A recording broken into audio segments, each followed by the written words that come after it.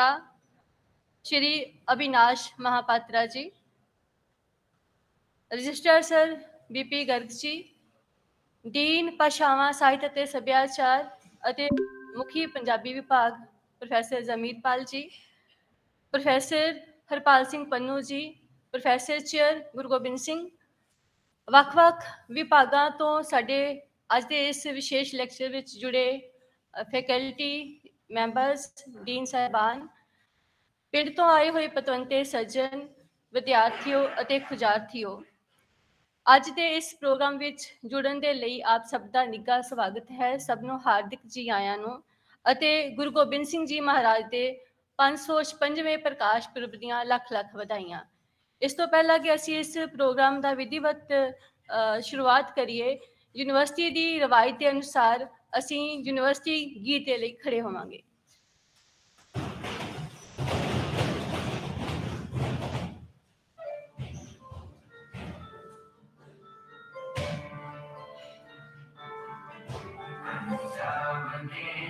विश्वविद्यालय पंजाब केंद्रीय विश्वविद्यालय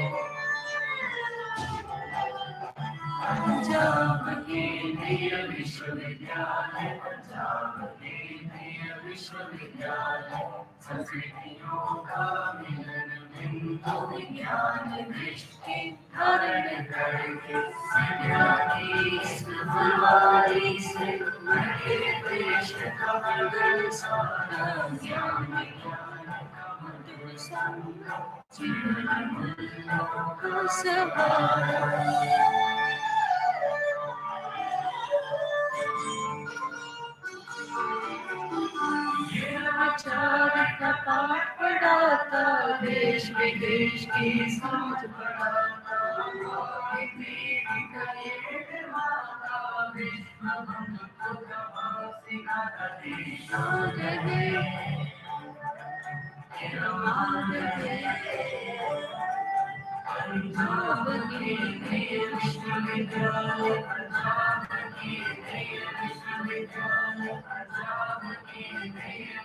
वह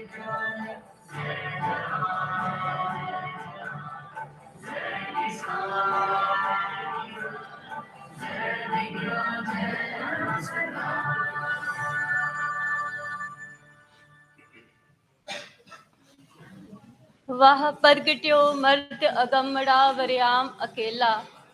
वह वह गुरु गोबिंद सिंह आपे गुरु चेला। वह वह गुरु गोबिंद सिंह आपे गुरु चेला। साहिब कमाल, संत सिपाही, सरबंसदानी, शस्त्र ते शास्त्र दे धनी, कलगीधर, अजीम साहित्यकार, महान जरनैल, बादशाह दरवेश, मर्द अगमड़ा, दुष्ट दमन, आपे गुरचेला अमृत के दाते, उच्च दे पीर, साहस, सिदक, सबर ते चढ़ती कला दे मालिक ਦੇ ਆਦ ਅਨੇਕਾਂ ਵਿਸ਼ੇਸ਼ਣਾਂ ਨਾਲ ਜਾਣੇ ਜਾਂਦੇ ਦਸ਼ਮੇਸ਼ ਪਤਾ ਸ੍ਰੀ ਗੁਰੂ ਗੋਬਿੰਦ ਸਿੰਘ ਜੀ ਦੀ ਅਦੁੱਤੀ ਨੂਰਾਨੀ, ਅਗੰਮੀ ਤੇ ਅਜ਼ੀਮ ਸ਼ਖਸੀਅਤ ਦੁਨੀਆ ਦੇ ਇਤਿਹਾਸ ਵਿੱਚ ਸਭ ਤੋਂ ਨਿਰਾਲੀ ਹੈ।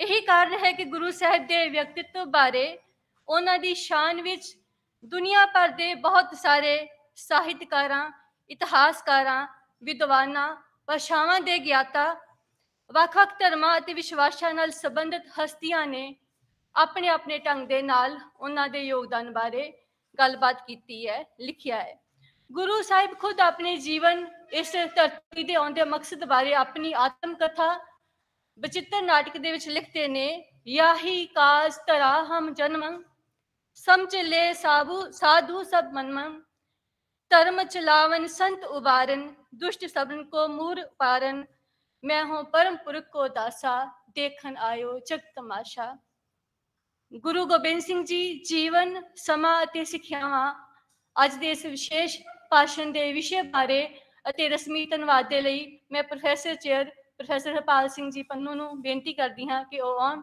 ਤੇ ਸਭ ਦਾ ਰਸਮੀ ਤੌਰ ਤੇ ਜੀ ਆਇਆਂ ਨੂੰ ਕਹਿਣ ਤੇ ਵਿਸ਼ੇ ਦੇ ਬਾਰੇ ਜਾਣ ਪਛਾਣ ਕਰਵਾਉਣ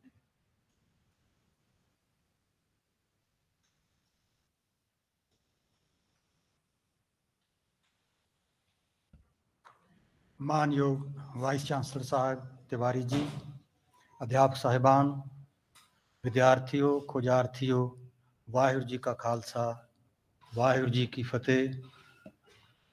वाइस चांसलर साहब ने हम सभी यहाँ जो पंजाबी के अध्यापक हैं, उनको ये स्टैंडिंग एडवाइस दी हुई है कि पंजाब के कल्चर पर सिख स्टडीज़ पर, पंजाब में कोई इम्पोर्टेंट इवेंट हो, कोई डेट हो पास्ट में, उसको सेलिब्रेट करना ना भूलिए। यहाँ इस यूनिवर्सिटी में ज़्यादातर स्टूडेंट्स और टीचर्स गैर पंजाबी हैं।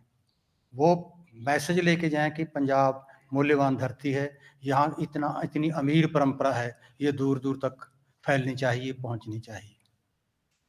इनका मैं इसलिए आभारी हूँ कि जब भी हम एडवाइस देते हैं, साहबजादों का शहादत के दिन मनाए, गुरु गोविंद सिंह जी का प्रकाश पुरब आया, मनाया गया, और आज भी उसी श्रृंखला में हम इकट्ठे हुए हैं। अविनाश महापात्रा जी को मैं इनकी विद्वता के कारण देर से जानता हूँ। गैर पंजाबी हैं। गुरमुखी भाषा सीखनी, गुरमुखी लिपि सीखनी, गुरमुखी भाषा सीखनी, अंग्रेज़ी में, उड़िया में रचनाएँ करनी, उन लोगों को सिख स्टडीज़ के बारे में जानकारी देनी जो सिख नहीं है, पंजाबी नहीं है, और कहीं कोई कंट्रोवर्सी नहीं हुई इनकी लिखत से, इसलिए ये अपना नाम कमा पाए। गैर पंजाबी लोगों में से जो, दो और बड़े नाम हैं, वो हैं हिमाद्री बैनर्जी और मुथु मोहन, राजमोहन गांधी जी। तो ये ये तीनों जो नाम पहले लिए हैं, इनकी उम्र एक्सपीरियंस बहुत ज़्यादा है। बनस्बत महापात्रा जी के, इनकी उम्र छोटी है एक्सपीरियंस कम है, लेकिन गिनती और गुणों में इनकी लिखत में जान है। और ये मेहनत करते हैं इतनी कि दूर दूर तक जाने जाते हैं। सिख यूनिवर्सिटियों में भी, यूनिवर्सिटियों के सिख डिपार्टमेंट्स में, सिख इंस्टीट्यूशंस में तख्तों पर इनका सम्मान हुआ। श्रोमणी गुरुद्वारा प्रबंधक कमेटी में इनको सभी जानते हैं और इनकी सेवाएँ लेते हैं। जो पर्सनल बात इनके साथ मेरी जुड़ी कोई छः महीने पहले, वो मैं आपसे शेयर करके क्षमा लूँगा। वो ये कि मैंने फैसला किया कि पंजाब की धरती पर गीता का प्रकाश हुआ था महाभारत में। उसको गुरुमुखी लिपि में और पंजाबी में किया जाए। कर दिया। बार बार मेरे मन में ये बात आ रही थी कि गीता में वर्ण आश्रम प्रथा का सम्मान हुआ हुआ है। गुरु साहबान ने ये प्रथा मानी नहीं। तो इसका क्या जस्टिफाई, क्या जस्टिफिकेशन दी जाए? सोच रहा था, शोध भी कर रहा था, सोच रहा था इसका मेरे पास फ़ोन आया अविनाश महापात्र जी का। कहने लगे, मैंने गोविंद गीता पर एक लंबा आर्टिकल लिखा है। मैंने कहा, वो कैसा? कहने लगे, गुरु गोविंद सिंह जी ने गीता लिखी थी, आपको पता है? मैंने कहा, पता है, मैंने स्टूडेंट लाइफ में पढ़ी थी। तो उस पर मैंने कमेंट किया है और लिखा है। मैं आपको मेल में भेजूँगा, वो देख लेना। इन्होंने मेल भेजी, मैं दंग रह गया, इतनी मेहनत की, और जो मेरे मन में प्रश्न था वर्णाश्रम का, गीता जो वेद व्यास जी की रचना है, उसमें वर्णाश्रम प्रथा को मान्यता दी गई है। भगवान कहते हैं कि ऐसा होता है। जो गोविंद गीता है श्री गुरु गोविंद सिंह जी ने ब्रज भाषा में रची उसमें ये प्रश्न पूछते हैं भगवान से अर्जुन कि वर्णाश्रम प्रथा का क्या हिसाब है? भगवान कृष्ण बताते हैं कि जहाँ जहाँ मेरी रचना हुई है संसार में जन्म के होते हुए कोई नीचा नहीं और जन्म के कारण कोई ऊँचा नहीं। अपने कर्मों से ऊँचा होगा अपने कर्मों से नीचा होगा। मैंने उस, उसी समय फैसला कर लिया कि अविनाश महापात्रा जी का ये लेख मैं अपनी किताब के मुखबंद में दूँगा और दिया है। तो मैंने ये नहीं सोचा इसकी उम्र छोटी है, इसको कौन जानता है, कौन नहीं जानता। असूल की जो बात थी, वो होनी चाहिए वो इनकी वजह से हुई, मैं इनका शुक्रगुजार हूँ। आप सभी का यहाँ स्वागत बहुत बहुत और शुक्राना वाइस चांसलर साहब का कि वो हमें उत्साहित करते रहते हैं ऐसी इवेंट्स के लिए। बहुत बहुत मेहरबानी। वाहिर जी का खालसा वाहिर जी की फतेह। मैंने हिंदी में बातें की अपने मेहमान के स्वागत में, इसलिए क्षमा करना। आपको गैर पंजाबियों को यहाँ रहते हुए पंजाबी आए, ये मेरी इच्छा है और मुझे हिंदी अच्छी तरह आए, ये आपकी इच्छा है। सभी मिलजुल के ऐसा काम करेंगे। बहुत मेहरबानी।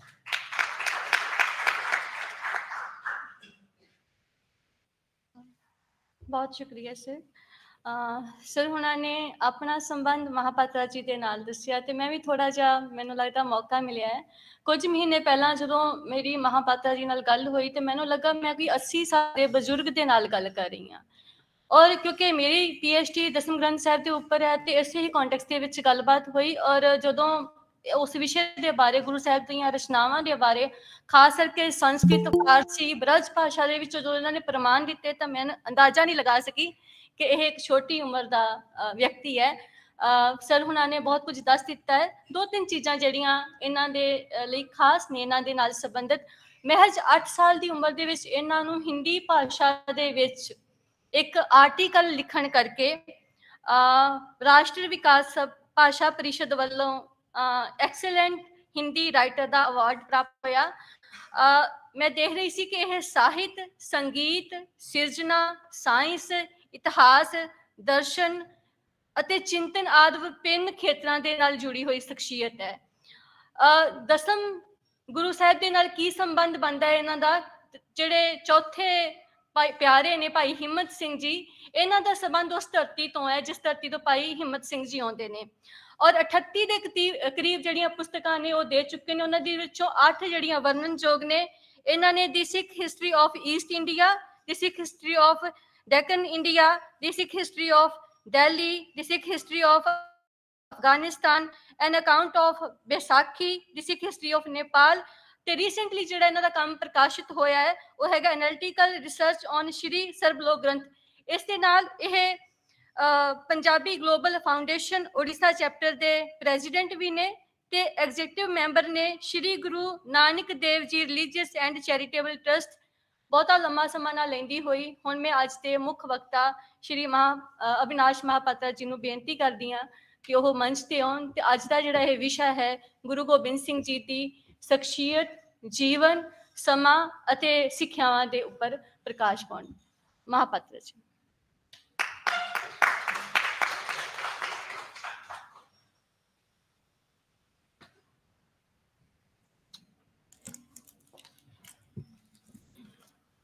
ਵਾਹਿਗੁਰੂ ਜੀ ਕਾ ਖਾਲਸਾ ਸ਼੍ਰੀ ਵਾਹਿਗੁਰੂ ਜੀ ਕੀ ਫਤਿਹ जो भी आज यहाँ पे मानयोग शख्सियत हैं मैं उनकी शख्सियत वर्णन कर सकूं इतना मेरी हैसियत नहीं इसलिए मैं सारे मानयोग सज्जन को कर जोड़ के फतेह दी सांझ फिर से करता हूँ वाहिगुरु जी का खालसा श्री वाहिगुरु जी की फतेह कलगीधर बादशाह जगत गुरु धन धन साहिब श्री गुरु गोविंद सिंह जी महाराज। उनके बारे में पूछा गया कि गुरु गोविंद सिंह महाराज जी कौन है?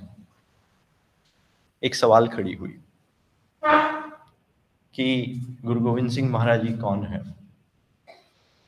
हाकम अला यार खान योगी, वो अपने लेख में लिखते हैं, करतार की सौगंध है। नानक की कसम है। जितनी भी हो तारीफ़ गोविंद की, वो कम है। हर चंद सिरे हाथ, पुरजोर कलम है। सतगुरु की लिखूं वसफ, कहाँ ताबी रकम है? एक आँख से किया बुलबुला, कुल बाहर को देखे शाहिल को मझधार को या लहर को देखे दसवें पाशाह के बारे। इस तरीके से शब्द शायद आज तक कोई भी गैर सिख नहीं बढ़ सकेगा। इसके अलावा अगर हम डिटेली जाएँ, गुरु दसवें पातशाह जी की लाइफ टाइम्स और उनकी टीचिंग्स के ऊपर में। सदगुरु गरीब निवास गुरु गोविंद सिंह महाराज जी, अगर हम उनका प्रकाश देखें, अगर हम उनका आगमन देखें तो वो तीन स्टेज में आता है। पहले आता है सचखंड से हेमकुंड, फिर हेमकुंड से सचखंड, फिर तीसरा आता है सचखंड से पटना। जिसके बारे महाराज खुद लिखते हैं, तही प्रकाश हमारा पयो, पटना शहर विखे भव्य तो दुष्ट दमन जो सचखंड से हेमकुंड साहब में जो प्रगट होना, इसको हम लोग बोलते हैं दुष्ट दमन की साखी। ये कैसी हुई, इसकी एक संपूर्ण इतिहास सतयुग के समय से। इसलिए हम लोग कहते हैं कि गुरु गोविंद सिंह महाराज जी एक सतयुगी सतगुरु है। अगर हम ट्रेस बैक करें टू सतयुग तो जब असुरों का प्रहार बढ़ता जा रहा था तो देवी दुर्गा को जो वर मिला, जो शक्तियाँ मिले, जो चंडी प्रकट हुई, उस दौरान एक बार असुरों का संहार करते करते वो एकदम से टायर्ड हो गए। तो सीधा जाके पहुँचे हेमकुंड, यहाँ आज के डेट में हेमकुंड है। तो उसको पहले बुलाया जाता था समुद्र की पर्वत, क्योंकि वहाँ ऋषि समुद्र तप करते थे। और उनके साथ जो हमारे हम बोलते हैं उनको, ऋषि समुद्र के साथ कोई दूसरा ऋषि वहाँ तब करते थे। ऋषि मार्कट यस ये दोनों तब करते थे। तो वहाँ पे देवी दुर्गा जाके आश्रय ली उनके पास। तो जो असुर आए, वहाँ पे उन्होंने गालियाँ बोलना शुरू कर दी देवी के खिलाफ में। तो वहीं पे ही ऋषि जो समुद्र जी थे, वो जिस बाघ के छाल के ऊपर बैठे थे, उस छाल को उन्होंने झाड़ दी तो उस भसम से प्रकट हुए दुष्ट दमन जी, जिन्होंने असुरों का संहार करते हुए मोर देन पैंतालीस पदम, जब हम पंजाबी में पदम बोलते हैं तो it is nearly just down to असंख infinite से थोड़ा कम, जिसको हम लोग बोलते हैं। अगर हम एक क्वांटिटेटिव एनालिसिस करें इसके ऊपर। इसके बाद हुक्म आई कि आप जाओ, हेमकुंड में तब करो, सचखंड से। इस दौरान में महाराज जब गए सचखंड में हुक्म लाने के लिए तो उस दौरान उनकी अकाल पुरख के साथ एक डिटेल कन्वर्सेशन हुई। उस कन्वर्सेशन के दौरान कितने देवी देवताएँ हुए हैं, कितनी शक्तियाँ प्रकट हुए हैं और कितने होंगे, ये जो तीन चीज़ें डिस्कस हुए ये एक स्वरूप बना जिसको हम लोग बोलते हैं सार्वलो श्री गुरु ग्रंथ साहब जी महाराज। इसके बाद महाराज हेमकुंड में तब किए। उसके बाद महाराज खुद लिखते हैं कि मैं हेमकुंड में तब कर रहा था। मेरे पिता, नौवे पाशाह सगल सृष्टि चादर, साहिब श्री गुरु तेग बहादुर जी महाराज, वो पहुँचे ईस्ट इंडिया में पूर्वी भारत में। तो जब वो त्रिवेणी गए तो वहाँ पे मेरी माता जी कंसीव हुए और पटना शहर में हमारा जन्म हुआ। इकलौता ऐसे दुनिया में शख्सियत जिसने अपनी आगमन की कथा, आगमन की पहली की कथा और किस तरीके से आगमन हुआ, ये तीनों चीज़ें अपने लेख में इंक्लूड की। इसके बाद जब गुरु दसवें पातशाह जी पटना से जाते हैं अनंतपुर साहब अनंतपुर साहब में एक बार कश्मीरी पंडित आके पहुँचे, अपनी धर्म की रक्षा के खातिर। वहाँ कश्मीरी पंडित आके कहते हैं, नौवीं पातशाह जी को, महाराज जो औरंगज़ेब है औरंगज़ेब साड़ी धर्म को खत्म करना चाहता है। आप हमारे ऊपर कृपा करो। तो उधर दसवीं पातशाह जी आते हैं, गोविंद राय नाम था उनका, वो आके पहुँची। कहते हैं, गुरु पिता, आपसे बड़ा शहादत और कौन दे सकता है इस चीज़ के लिए? छोटी उम्र मत ऊँची और सोच निर्मल। इसीलिए आज भी जब हम अरदास में अरदास करते हैं तो हम लोग बोलते हैं नु मन नीवा, ते मत ऊँची। कि मन नु नीवा करके जो मत ऊँची होती है, वो चीज़, वो शिक्षा हमें गुरु दसवें पातशाह जी से मिलती है। पहला चीज़। दूसरा चीज़ है, जब गुरु नौवें पातशाह जी का शहादत हुई धर्म के खातिर। जैसे महाराज जी लिखते हैं, तिलक जनी राखा प्रभुता का करो। नो कलू मैसा का फिर महाराज ये भी लिखते हैं, तीकर फोर दिलेसर प्रभुपुर किया बयान। तेग बहादुर श्री क्रिया करी ना की नो महाराज जी कहते हैं कि जो मेरे फादर साहब ने, जो मेरे गुरु पिता ने किए हुए हैं, वो इस पूरे सृष्टि में कोई नहीं कर सकता। क्यों? क्योंकि एक पंथ जब हम भाई गुरदास जी के वार पढ़ेंगे। भाई गुरुदास जी कहते हैं कि नानक तीसरा पंथ चलाए। तो जो हमारी सिक्खी है, जो हमारी गुरमत है दैट इज़ तीसरा पंथ। तो एक पंथ के सदगुरु दूसरे पंथ की धर्म की रक्षा के खातिर, उनके रिलीजियस सिंबल्स की रक्षा के खातिर जो शहादत दिए हैं, उस पूरे सृष्टि में कोई नहीं दे सकता। क्योंकि वो धर्म के राखे थे। इसीलिए कवि सेनापत जो कि गुरु दसवें पातशाह जी के दरबारी रतन हुए हैं, वो अपने लेख में लिखते हैं, प्रगट पई गुरु तेग बहादुर सगल सृष्टि पे डाकी चादर। कि जब पूरे सृष्टि से धर्म का चद्दर उतार कर उसको नंगा किया जा रहा था तो उस टाइम में गुरु नौवे पातशाह जी खुद चद्दर बन के धर्म की लाज को रख ली ये गुरु दसवें पातशाह जी की देन है, क्योंकि नौवे पातशाह जी के शहादत के बारे अगर सबसे पहले हमें पता लगता है तो वो गुरु दसवें पातशाह जी की कृति है। इसके बाद अगर हम देखेंगे, फिर महाराज जी जो पेवटा साहब आते हैं। पेवटा साहब में महाराज की एक नई तरीके की शस्त्र वहाँ पे प्रकट होती है। जैसे हम लोग बोलते हैं कि शस्त्र कई तरह के होते हैं। एक होता है ज्ञान रूपी शस्त्र, दूसरा होता है खड़क शस्त्र, और तीसरा होता है कलम शस्त्र।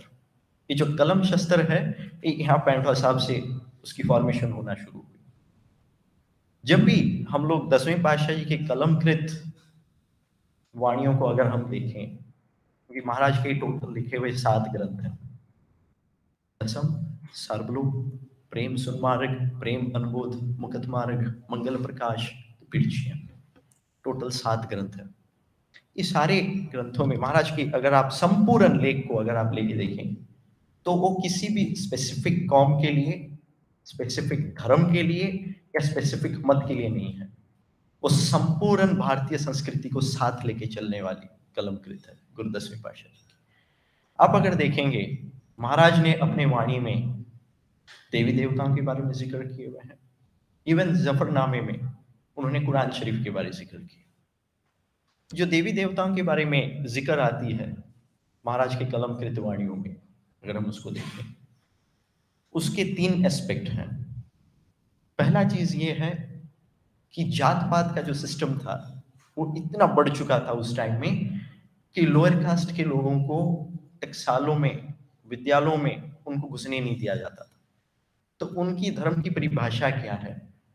उनकी धर्म की इतिहास क्या है? उनकी धर्म का जो मर्यादा है, वो क्या है? उनको पहुँचाने के लिए महाराज ने ये सारे रचनावे किए और महाराज, आप लिखते हैं दसम कथा बगौत की भाखा करी बनाए कि ये जितने भी चीज़ें मैं लिख रहा हूँ, मैं भाखा कर रहा हूँ, मैं इसके एक्सप्लेनेशन दे रहा हूँ। क्योंकि उस समय में सारे लोगों को संस्कृत नहीं आती थी। कुछ लोगों को पंजाबी नहीं आती थी। तो महाराज ने क्या कि पूरे सिंपल भाषा में सब कुछ, पूरा भारतीय संस्कृति का इतिहास उन्होंने अपने लेख में संकलन इसके बाद जब बड़े साहिबजादे, साहिबजादा बाबा अजीत सिंह जी पाउंटा साहब में जन्म लेते हैं तो उस समय महाराज अकाल उस्तत की रचना करते हैं। अगर आप अकाल उस्तत देखेंगे, अकाल उस्तत में चार पंक्तियाँ आते हैं। अकाल पुरख की रक्षा हमने सर्वलोह जी की रक्षा हमने, सर्वकाल जी की रक्षा हमने सर्वलोह जी सदा रक्षा हमने। ये जो चार लाइन वाली जो पंक्ति है, इसके नीचे आप एक चीज़ देखिएगा, वहाँ पे लिखा हुआ है, आगे लिखारी के दस्तखत। सबसे बड़ी सवाल ये है कि महाराज वाणी उच्चारण कर रहे हैं, लिखारी हैं भाई मनी सिंह जी। तो आगे क्यों लिखा जा रहा है कि उतार खासे दस्तखत का पातशाही दसवीं? और आगे चल के लिखा जा रहा है कि आगे लिखारी के दस्तखत। ये चीज़ क्यों सबसे बड़ी सवाल कि अगर महाराज वाणी उच्चारण कर रहे हैं, लिखारी है भाई मनी सिंह तो दसवें पातशाह जी की दस्तखत क्यों आई उसमें? इसका कारण एक है, अगर हम वाणियों की उतानका करेंगे तो जो अकाल की रचना हुई श्री प्योटा साहब में, महाराज जस्ट वाणी उच्चारण करने जा रहे हैं तो यमुना नदी का जो उसका जो फ्लो है, जो उसका करंट है, वो इतना ज़ोर से गरज रहा था कि महाराज जो वाणी उच्चारण कर रहे थे, वो किसी को सुनाई नहीं दिया गया। उसके बाद महाराज ने आप हुक्म किए यमुना को कि भाई साहब, कृपया शांत होइए हमें वाणी की रचना करनी है। जेकर आप शांत नहीं हुए तो आगे से की आवाज़ निकलनी बंद हो जाएगी। और ये चीज़ आज भी प्रत्यक्ष रूप में देखने के लिए मिलता है, जब आप पेवटा साहब जाएँगे गुरुद्वारा श्री कवि दरबार साहब, वहाँ से एक किलोमीटर दूरी तक आपको यमुना की एक भी आवाज़ नहीं सुनाई देगी। लेकिन जब आप एक किलोमीटर आगे जाएँगे, आपको वही करंट का वही नॉइज़ आपको फील हो जाएगा, यमुना नदी का। वहाँ पे महाराज जी ने जो ये वाणी उच्चारण किए तो जो पहले चार पंक्तियाँ बोले महाराज जी, वो भाई मनी सिंह जी उसको कैप्चर नहीं कर पाए। कहते, महाराज, आपने क्या बोला? ये हमें समझ में ही नहीं आया। महाराज, आप कलम पकड़े ये चार पंक्तियाँ लिखें और नीचे खुद दस्तखत किए। इसलिए हम लोग बोलते हैं, आगे लिखारी की दस्तखत, ये चार पंक्ति, फिर उसके बाद उतार का से दस्तखत का श्री मुख पाशाही दसवीं इसके अलावा अगर हम लोग जाप साहब में आए, एक अगर हम लोग एनालिसिस करें रिलीजियस एनालिसिस प्रॉफिट मोहम्मद साहब, उनको इस्लाम में ऊंच इसलिए माना जाता है क्योंकि उन्होंने खुदा के जो नाम है, उन्होंने उच्चारण किए। वो भी बिना किसी रुकावट के। सौ नाम टोटल खुदा के उन्होंने उच्चारण किए। अगर हम लोग जाप साहब में आए जाप साहब में महाराज का, खुद का श्रीमुख वाक है। महाराज कहते हैं, चक्र चहन और बरन जात और पात नहन जय रूप, रंग और रेख बेक कहू ना सकत कहित वेद चल मूरत अनुभव प्रकाश अमितोज कहीजे कोट इंद्र इंद्राणी साहु सहान गणीजे। त्रिबौण महीप सुर नर असुर, नेत नेत बन तृण कहित। तो वह सर्वनाम कथे कहो। ये परमात्मा, आपके नाम इतने हैं, इसकी वर्णन कौन कर सकता है? कर्म नाम बनना दुश्मन कि मैं सिर्फ़ कर्म नाम ही यहाँ पे उच्चारण कर लिया जा रहा हूँ वाणी में। और ये जो जाप साहब है, अगर आप देखेंगे टोटल वर्स इसमें 199 है।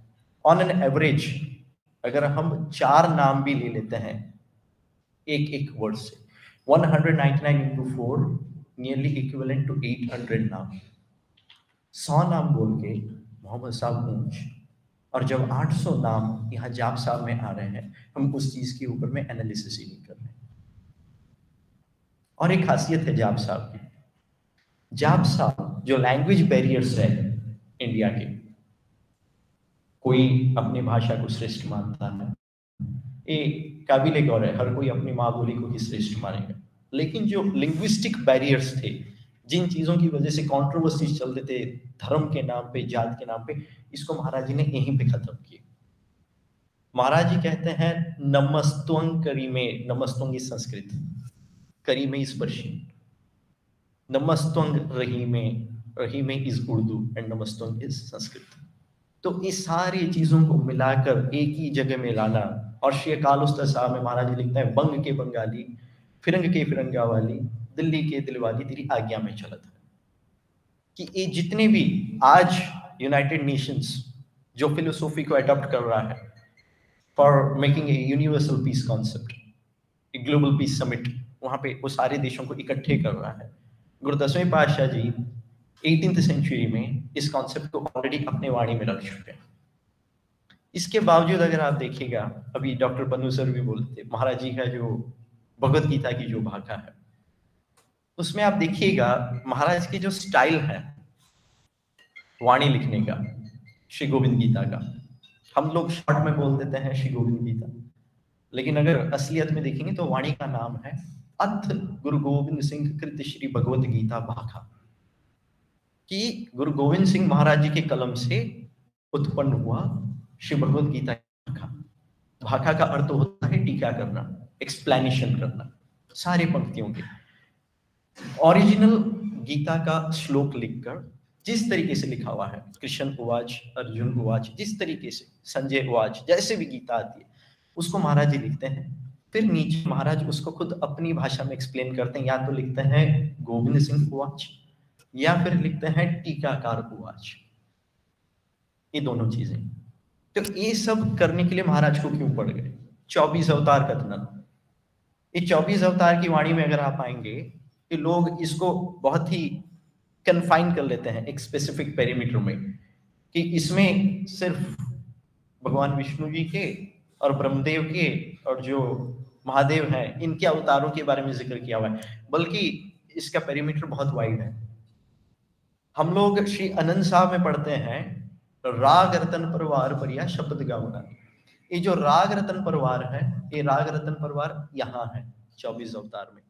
अगर आप कृष्ण अवतार पढ़ेंगे, आपको मोर देन थर्टी सिक्स रागों के नाम मिल जाएँगे कृष्ण अवतार और जो कृष्ण अवतार है, और ये जो चौबीस अवतार है, इसमें महाराज के कलम जो टोटल इस पूरे यूनिवर्स के जो नौ रस हैं ये नौ रस आपको यहीं पे मिल जाएँगे।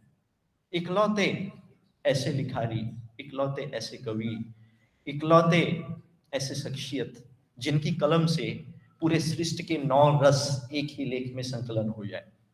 क्योंकि जब भी कोई लिखारी लिखते हैं, उनका जो लिखने का जो एक बॉर्डर लाइन होता है, एक लिमिटेशन होती है, वो लिमिटेशन सिर्फ़ और सिर्फ़ दो से तीन रस तक हो सकता है। पूरे नौ रस को इकट्ठे कोई नहीं ला सकता। It is one and only Guru Gobind Singh महाराज आगे चलकर देखिए, श्री जफरनामा साहब। इस जफरनामा साहब में हमें एक चीज़ देखने के लिए मिलता है। इस्लामिक मत अनुसार जो भी एक पक्का मुसलमान होता है, वो कुरान शरीफ के बियॉन्ड नहीं जाएगा। कभी भी नहीं। इसलिए महाराज ने क्या किए? यहाँ पे ना तो अपने वाणियों का ज़िक्र की ना ही हमारे पुरानिक टेक्स्ट के ज़िक्र की महाराज ने कुरान शरीफ के ही कलमाओं से, कुरान शरीफ के आयत से, कुरान शरीफ की सूर्य जलजला से ही औरंगज़ेब को उसकी करतूतों का एक पर्दा दिखा दी एक आईना दिखा दी उसको। कहते हैं कि भाई आपका कौम ये कहता और आप ऐसे करते हैं। पहले जो थर्टी टू वर्सेस हैं जफरनामा साहब के, वो अकाल पुरख की उस्तत में लिखे हुए हैं। कमाले, करामात, कायम, करीम, रजा, बख्शो, राज करी हाकुन रहीम न साजो, न फाजो, न फौजो, न फर्श, खुदा, बंद बख्शित ये पूरा उस्तत चलती है, थर्टी टू वर्सेस में। फिर उसके बाद महाराज इतिहास देते हैं कि मेरे बेटों के साथ ऐसे किया गया। जो छोटे साहिबजादे थे, उनके साथ ऐसे किया गया, बल्कि जबकि आपका कौम कहता है कि आप ऐसे ऐसे हरकत नहीं कर सकते, नहीं तो आपको जहनुम नसीब में मिलेगा। उसके बाद महाराज एक मिरर दिखाते हैं कि, औरंगज़ेब, मैं आपकी सत्कार तो ज़रूर करता हूँ कि आप एक पाँच वक्ती नमाजी हैं, आप अपने धर्म के पक्के हैं, लेकिन ये जो कर्म आपने किए हैं, इसका मैं क्या करूँ? और यही लेटर को पढ़कर औरंगज़ेब को इतनी शर्म आई कि एक तरफा बोले तो वो अंदर से मर चुका था, औरंगज़ेब। उसके लास्ट डेज़ से पहले इवन अगर हम लोग पर्शियन सोर्सेस में जाएँगे रिलेटिंग टू मुगल हिस्ट्री उसमें ये भी लिखा हुआ है कि औरंगज़ेब ने मना कर दिया कि मेरे कब्र के ऊपर में कोई भी मौजूद नहीं बनेंगे, मेरे टॉम के ऊपर। यहाँ तक कि उसने ये भी बोल दिया था कि मैं फ्री टाइम में कुरान शरीफ लिखता हूँ। और कुरान शरीफ लिखने के टाइम पे मेरे जितने अमाउंट कलेक्ट हुए हैं, उतने ही अमाउंट में मेरी कब्र बनेगी, उससे बियॉन्ड नहीं। क्योंकि और जब मेरे को दफनाई भी जाए तो मेरा सर आकाश को फेस होके दफनाना चाहिए। क्योंकि मैं अपने मिस्टेक्स को रियलाइज़ करके ही खुदा के पास जाना चाहता हूँ। मैं उनको देखकर अपने मिस्टेक्स को रियलाइज़ करना चाहता हूँ। यहाँ तक भी उन्होंने रियलाइजेशन का अपना कॉन्सेप्ट दे दिया। इसके बाद अगर हम आए अमृत संचार के पास, मैं आया उड़ीसा से। एक प्यारे गुरु दसवीं पातशाह जी के हुए हैं उड़ीसा से। और उड़ीसा का गुरु दसवीं पातशाह जी के साथ बहुत बड़ा लिंक है। चाहे इसको कोई हम लोग आगे ला नहीं पाते, हम लोग पहली पातशाह गुरु नानक पातशाह जी उड़ीसा आए, इस बारे में हम बोलते हैं। ज़्यादा से ज़्यादा नौवीं पातशाह जी उड़ीसा आए और छठवीं पातशाह जी अपने सिखों को भेजे हुए थे वहाँ। जो भी गुरु नानक पातशाह के स्थान है, उसको रेनोवेशन करके उसको प्रिजर्व करने के लिए। लेकिन गुरु दसवें पातशाह जी का जो साखियाँ जुड़े हुए हैं उड़ीसा से, उसके बारे में हम कोई भी ज़िक्र नहीं करते। आज मैं आपको बताता हूँ। सबसे पहले श्री पकियान चरित्र जो गुरु दसवें पातशाह जी की एक अद्वितीकृत है।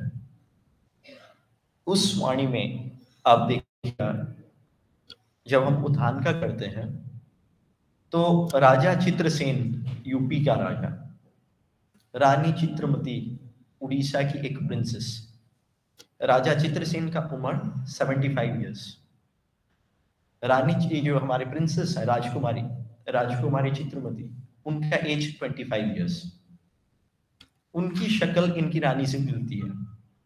तो राजा चित्रसेन कहते हैं अपने बेटे को 26 साल के बेटे को, कि बेटे तू जा उड़ीसा के राजा की बेटी को उठा के लेके आ, जगन्नाथपुरी के। राजा का बेटा आता है, उनको लेके जाता है तो रास्ते में वो जो राजकुमारी है, वो कहते हैं, भाई, आपके जो फादर साहब हैं विथ ऑल ड्यू रिस्पेक्ट तो काफ़ी बुज़ुर्ग हो चुके हैं। आप एक काम कीजिए, अपनी ब्याह मेरे साथ रचा लीजिए। तो इसको सुनने के बाद जो राजकुमार था, वो कहता मोरल मोरली अगर हम लोग देखें एथिकल ग्राउंड्स में, वो कहते हैं कि देखिए, आप तो हमारी माता समान है। हम आपको टच भी नहीं कर सकते। आपको हमारी माता ही बन के रहती है।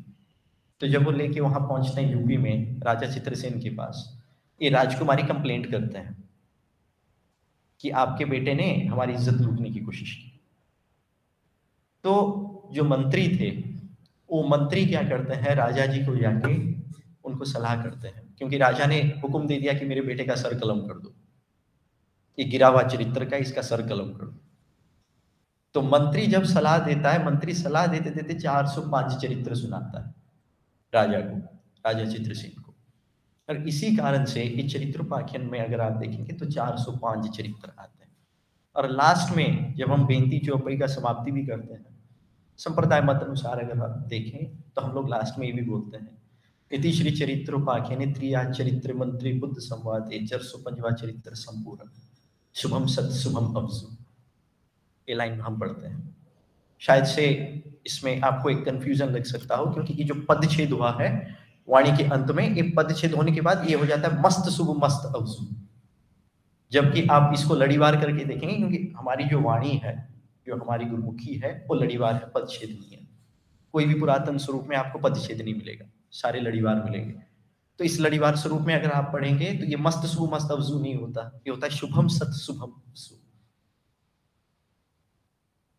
ये पखियान चरित्र की साखी है। ये हुआ उड़ीसा से जुड़ा हुआ। जब सरबलो वाणी लिखते हैं महाराज जी, जो सरबलो अवतार हुए हैं, वो सरबलो अवतार हुए हैं जगन्नाथपुरी से।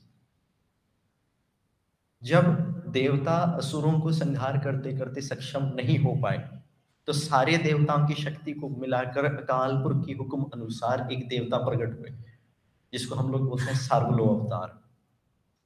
जो सार्वलो अवतार हुए हैं, उनके बॉडी का एक एक ऑर्गन उनकी बॉडी के एक एक पार्ट उनकी बॉडी के एक एक अंग एक एक शस्त्र के रूप में काम किए। एंड दैट इज़ सर्वलो अवतार। उनकी जो इवोल्यूशन है, वो जगन्नाथपुरी से हुई है। तीसरा बात, जो भाई हिम्मत सिंह जी हुए हैं, हम लोग बोल देते हैं कि भाई हिम्मत सिंह जी का जो जन्म है, वो जगन्नाथपुरी में हुआ है, जबकि वो गलत है। जगन्नाथपुरी से अगर आप 25 किलोमीटर अंदर जाएँगे, वहाँ पे एक दया नदी है। उस दया नदी के किनारे में एक छोटा सा गाँव बसा हुआ है। उसका नाम है दही खिया जहाँ पे जगन्नाथ जी मानिक लेडी से दही मांग कर खाए हुए थे। उस जगह का नाम है मानिक पाटना। और ये जगन्नाथ जी के साखी से जुड़े हुए, इसलिए हम लोग उसको बोलते थे दही खिया यहाँ पे जगन्नाथ जी दही खा के गए हुए थे। इस जगह में भाई हिम्मत सिंह जी का जन्म हुआ। जन्म का नाम हिम्मत राय, अमृत संचार के बाद उनका नाम हुआ हिम्मत सिंह।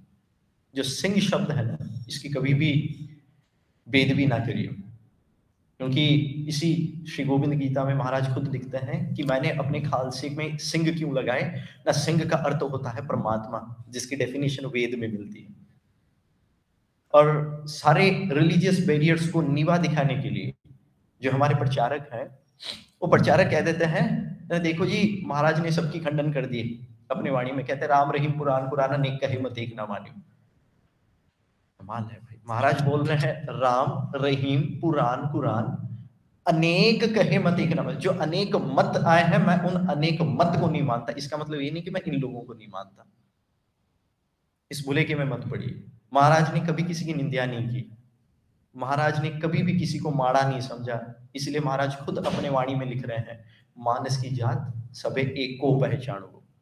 एक यूनिवर्सलिज्म सिक्खी इज़ यूनिवर्सलिज्म और अगर मैंने जैसे आपको बोला कि दसवें पातशाह जी का जो कलम है, वो संपूर्ण भारतीय संस्कृति के लिए है। अगर आप भारतीय संस्कृति में आएँगे तो आपको एक ही भारतीय संस्कृति का परंपरा मिलेगा, जिसका अर्थ होता है वासुदेवम कुटुंबकम कि एक परमात्मा और उसके सब बच्चे हैं। और यही चीज़ हम आदवाणी में भी पढ़ते हैं, एक पिता एक के हम बालक इसी सेम कॉन्सेप्ट में गुरु दसवीं पातशाह जी ने अपनी कलम चलाए। इसीलिए कोई भी बुलेखा में मत पाइए कि महाराज जी ने किसी भी धर्म की भी की हो, या महाराज ने किसी के बारे में भी नीवा कहा हो।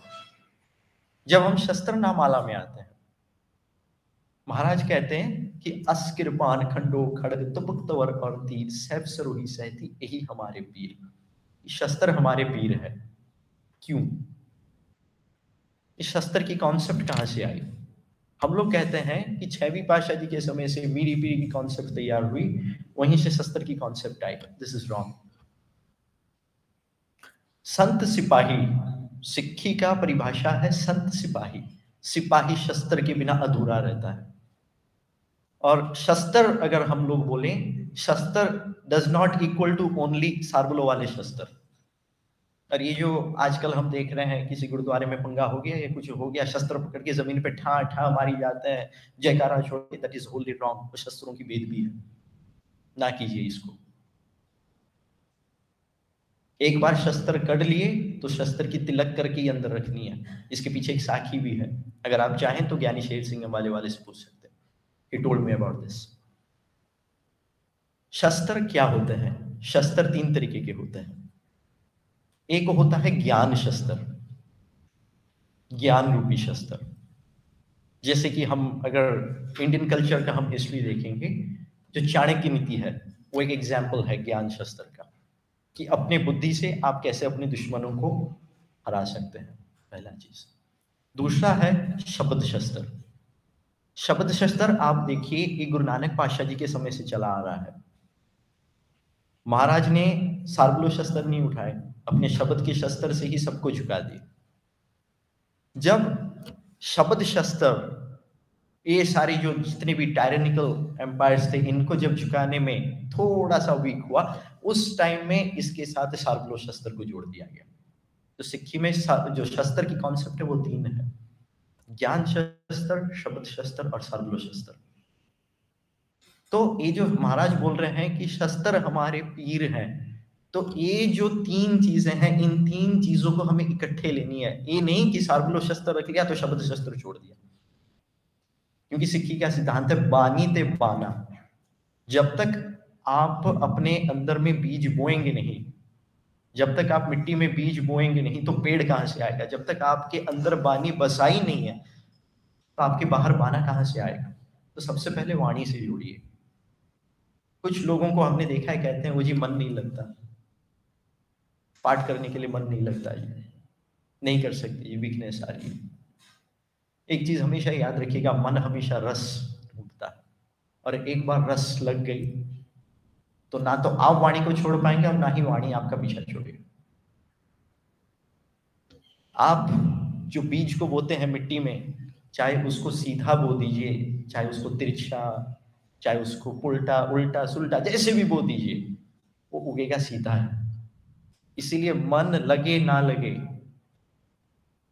बॉडी परमिट करे ना करे, वाणी पढ़िएगा एक ना एक दिन उस परमात्मा को आपको फल दे ही देना है। ये तय है। इसीलिए जब गुरु दसवें पातशाह जी नंदेड़ साहब पहुँचे फोर्टीन मंथ्स ठहरे वहाँ पे गुरु दसवें पातशाह जी नंदेड़ साहब में। जो गुरुद्वारा शिकार घाट साहब आज के तौर पे आप देख रहे हैं, महाराज ने वहाँ पे मुकद मार्ग ग्रंथ की रचना की। सिखों ने पूछा कि महाराज, ये जो आदवाणी है, इस आदवाणी की महत्तम क्या है? अगर आप मुकद मार्ग ग्रंथ पढ़ेंगे, उसमें आद महाराज की महत्तम लिखी हुई है।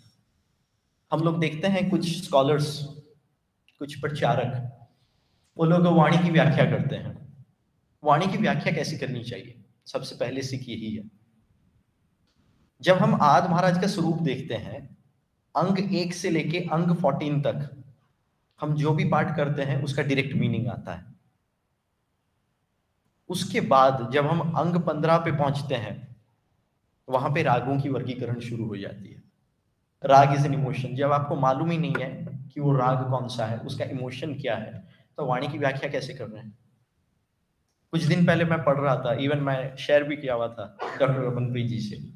कुछ व्याख्या चल रहे थे तो उन्होंने नवे पातशाह जी की वाणी की व्याख्या की, यही जग मीत ना देखियो कोई, सगल जगत अपने सुख लागे, दुख में संग ना कोई.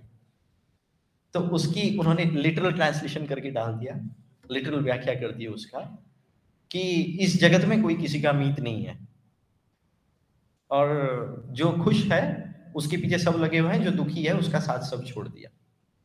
जो अरदास है, उसमें हम खुद कहते हैं तेग बहादुर सिमरिए घर नौ निध आवेता सब ताई खुश।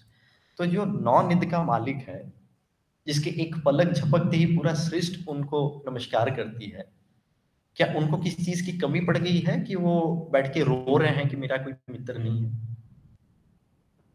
It's a matter of logic थोड़ा सा आपको अपना माइंड यूज़ करना पड़ता है इसमें। क्या वो बैठ के रो रहे हैं कि मेरा कोई मित्र नहीं है? और वो क्या जलस कर रहे हैं लोगों से? कि मैं दुखी हूँ, मेरे पास कोई नहीं है, वो देखो जी, वो सुखी है, उसके पास सब बसे हुए हैं। Where are we leading to हम क्या पढ़ रहे हैं, क्या सीख रहे हैं? और वाणियों की जो सिग्निफिकेंस है, वो हम तक क्या पहुँच रही है?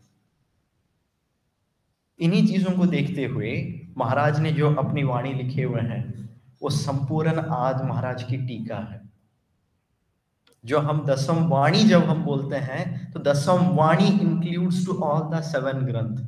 रिटन बाय गुरु गोविंद सिंह महाराज जी और एक चीज़ मैंने देखी हुई है, कुछ रिसर्च पेपर्स भी मैं पढ़ता हूँ, वो आजकल एक फ़ैशन आ गया है। कोई भी चीज़ को अगर आपको, मैंने इंग्लिश लिंग्विस्टिक में आपको अगर इंडियन टर्मिनोलॉजी में दिखाना है तो उसके आगे ए जोड़ दो। वेद होता है उसको वेदा कर देते हैं। रामायण होता है, उसको रामायणा कर देते हैं। दिस मेक्स नो सेंस इससे थोड़ा सा बचिएगा। ये मेरी आपसे बेनती है। और दूसरा चीज़ है ये जो ग्रंथ होता है ना, ये ग्रंथ होता है, ग्रंथ्स नहीं होते। इसके आगे में एस जोड़ के इसको प्लूरल ना कीजिए। If at all you are using S उसको ब्रैकेट में लिखिए। एस कुछ नहीं होता, खालसाज लिख देते हैं आजकल। खालसा एक ही होता है। बहुत किस्म के खालसे नहीं है। और दूसरा बात गुरु दसवीं पाशाह जी, खुद फरमाते हैं कि खालसा की परिभाषा क्या है। खालसा महिमा जब हम आते हैं सार्वलो में, एक खालसा महिमा है दसम में, दूसरा खालसा महिमा है सार्वलो में। महाराज कहते हैं सार्वलो में ये खालसा कौन है? न कहते हैं, जजन भजन मम खालसा खालसा पूजवे जोग। दास गोविंद फतेह खालसा, दरस परस मिटे सोग। मेरो इष्ट अर निशना खालसा पूजवे ध्यान। दर्शन परशन खालसा मुक्त रूप सत जान आत्म रस जही जानी, सो है खालस देव। तिन में मन में कुछ नहीं रंचक ना ही पेद कि जो सबके अंदर बैठा परमात्मा को पहचान ले, सो ही मेरा खालसा है। मैं उसी को ही अपना खालसा मानता हूँ। ये है बानी की एस्पेक्ट बाना की एस्पेक्ट क्या है? एक खालसा कौन है? उसके अपियरेंस क्या है ना? महाराज बोलते हैं, खालसा मेरो रूप है खालसा। मैं जैसे दिखता हूँ, खालसा भी वैसा दिखेगा। इसलिए जो खालसा है, कभी किसी खालसे की भेद भी ना किया करे। तो महाराज बोलते हैं, खालसा मेरो सज्जन सूरा, खालसा मेरो सतगुरु पूरा, खालसा मेरो पिंड पुराण, खालसा मेरी जान की जान। महाराज की जान है खालसा। महाराज, आप खालसा। इसीलिए कभी भी किसी भी खालसे की भी ना किया करे, या किसी खालसा की निंदा ना करे। और जो भी रहत में नहीं रहते, या जो भी गुरु दसवें पातशाह जी के प्रिंसिपल से उल्ट चलते हैं, उनके बारे में महाराज ने लिख दिया है। जब लग खालसा रहे नहीं आ रहा, तब लग तेज दे मैं सारा। जब तक मेरे रास्ते में रहेगा, मैं सारा तेज दे दूँगा। जब एक गए विवरण की रीत, मैं ना करूँ इनके प्रति the movement they go straight from my path I won't accept Khalsa. मैं उनको एक्सेप्ट नहीं करता। इसीलिए गुरु दसवीं पातशाह जी आप कहते हैं कि रहत प्यारी मुझको, सिख प्यारा ना है। हम लोग अमृतसर साहब जाते हैं, दरबार साहब में मत्था टेकते हैं, सरोवर का अमृत लेते हैं, अपने सर में लगा के आ जाते हैं। ये भी एक रिक्वेस्ट है। जो सरोवर है, उसको आप, उसके कंटेंट को वाटर ना बोलिए। वो जल नहीं है, वो अमृत है। उसको अगर हम लोग वाटर बोलते हैं दैट इज़ अ भी दैट इज़ एन इंसल्ट ये चीज़ें ना करें प्लीज़ ये मेरी आपसे कर जोड़ की बेनती है। कोई भी गुरु साहब से जुड़े हुए बॉडी हो, सरोवर हो, उसके कंटेंट को आप बोलिए कि वो अमृत है। क्योंकि वो महाराज का स्पर्श किया हुआ या चरण छो प्राप्त वस्तु है। उसको आप मत बोलिए कि वो वाटर है या उसकी महत्तम क्या है? उस सरोवर की। गुरु दसवें पाशाह जी से रिलेटेड अगर हम लोग भाई जैता जी, भाई जीवन सिंह जी जो हुए हैं, रंगराटा गुरु का बेटा, अगर हम उनकी पर्सनल डायरी पढ़ें, श्री गुरु कथा, उस श्री गुरु कथा में भाई जैता जी लिखते हैं कि जब मैं जाके पहुँचा गुरु दसवें पाशाह के पास, गुरु नौवे पाशाह का शीश लेके तो गुरु दसवें पातशाह जी सबसे पहले मेरे को पूछे कि रंगराटा गुरु का बेटा, हमारे अपने आदमी वहाँ कितने थे? भाई जैता जी कहते महाराज, भीड़ इतनी थी हमारे कितने थे, उनके कितने थे, कुछ पता ही नहीं चला। गुरु दसवें पातशाह जी ऐलान किए कि गोविंद सिंह अपने खालसा को ऐसे सजाएगा कि दूर से भी देख के लोग बोलेंगे कि वो देखो गोविंद सिंह का फौज खड़ा हुआ यहीं से खालसा सृजना शुरू हुई। और लास्ट में 1699 खालसा सृजना दिवस बैसाखी में बना। महाराज पूछते हैं भाई चैता जी को कि आपने इतने बड़े कर्म किए हमारे पंथ के लिए आपको क्या चाहिए? आप कुछ भी मांगिए, राजकाज, भार, हम सब आपके कदमों में रख देंगे। आप क्या मांगते हैं? भाई जैता जी कहते हैं, महाराज, मेरे पास आप है, मुझे कुछ नहीं चाहिए। बस मुझे अमृतसर साहब के सरोवर की स्नान बख्श दीजिए। इसी इतिहास को लेकर हम लोग अरदास में कहते हैं, सिखानु, सिक्की दान, केश दान। रहत दान विवेक दान सरबत दान दाना सिर दान श्री अमृतसर साहिब जी के दर्शन स्नान ये महत्व है, जो कि हमें गुरु दसवें पातशाह जी के इतिहास से सीख मिलती है। अगर हम लोग चार साहिबजादों के ऊपर आए,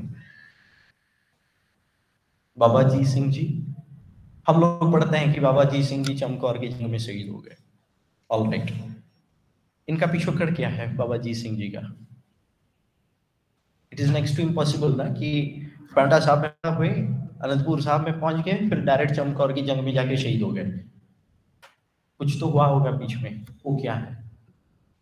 तेरह साल की उम्र में बाबा अजीत सिंह जी पहला जंग लड़े और पंद्रह साल के अंदर अंदर बाबा अजीत सिंह जी टोटल चार जंग लड़कर फतेह भी हासिल की उसके बाद 1705 अक्टूबर को माता तारा कौर जी के साथ बाबा अजीत सिंह जी का ब्याह कराया गया। जब हम भट्टवैये सोर्सेस में जाएँगे जो कंटेम्प्रेरी सोर्सेस है, गुरु पाशाह के, उसमें लिखा हुआ है आई डू एडमिट उसमें कुछ डेट्स गलत लिखे हुए हैं we can correlate of our own लेकिन फैक्ट सही है उसमें। माता ताराकौर जी के साथ उनका ब्याह हुआ। फिर उसके बाद चमकौर की जंग में वो कैसे शहीद हुए, ये आप मुझसे बहुत बेहतर जानते हैं। इसके बारे में मुझे बोलने की कोई ज़रूरत नहीं है। बाबा जुझार सिंह जी बाबा अजीत सिंह जी के साथ एक जंग में वो भी गए हुए हैं। एक देवकी दास ब्राह्मण था। उस देवकी दास ब्राह्मण के बीवी को ही वॉज़ न्यूली मैरिड तो उनकी बीवी को एक तुर्क उठा के ले गए थे। तो उनसे जंग करके बाबा अजीत सिंह जी और बाबा जुझार सिंह जी उनको लाए थे रेस्क्यू करवा कर। और जो बाबा फतेह सिंह जी की देन है हमारे पंथ में, सबसे कम उम्र, लेकिन इतनी बड़ी देन कि इस उम्र में शायद से दुनिया में कोई नहीं दे सकता। कुछ लोग रोड़ा भी पा देते हैं कि वीर बाल दिवस हो गया वो जी बाल दिवस नहीं होनी चाहिए। हम लोग उनको बाल नहीं बोल सकते। तो गुरु अठवे बादशाह को हम क्या बोलते हैं? बाला प्रीतम ही तो बोलते हैं। नाम हटा दीजिए।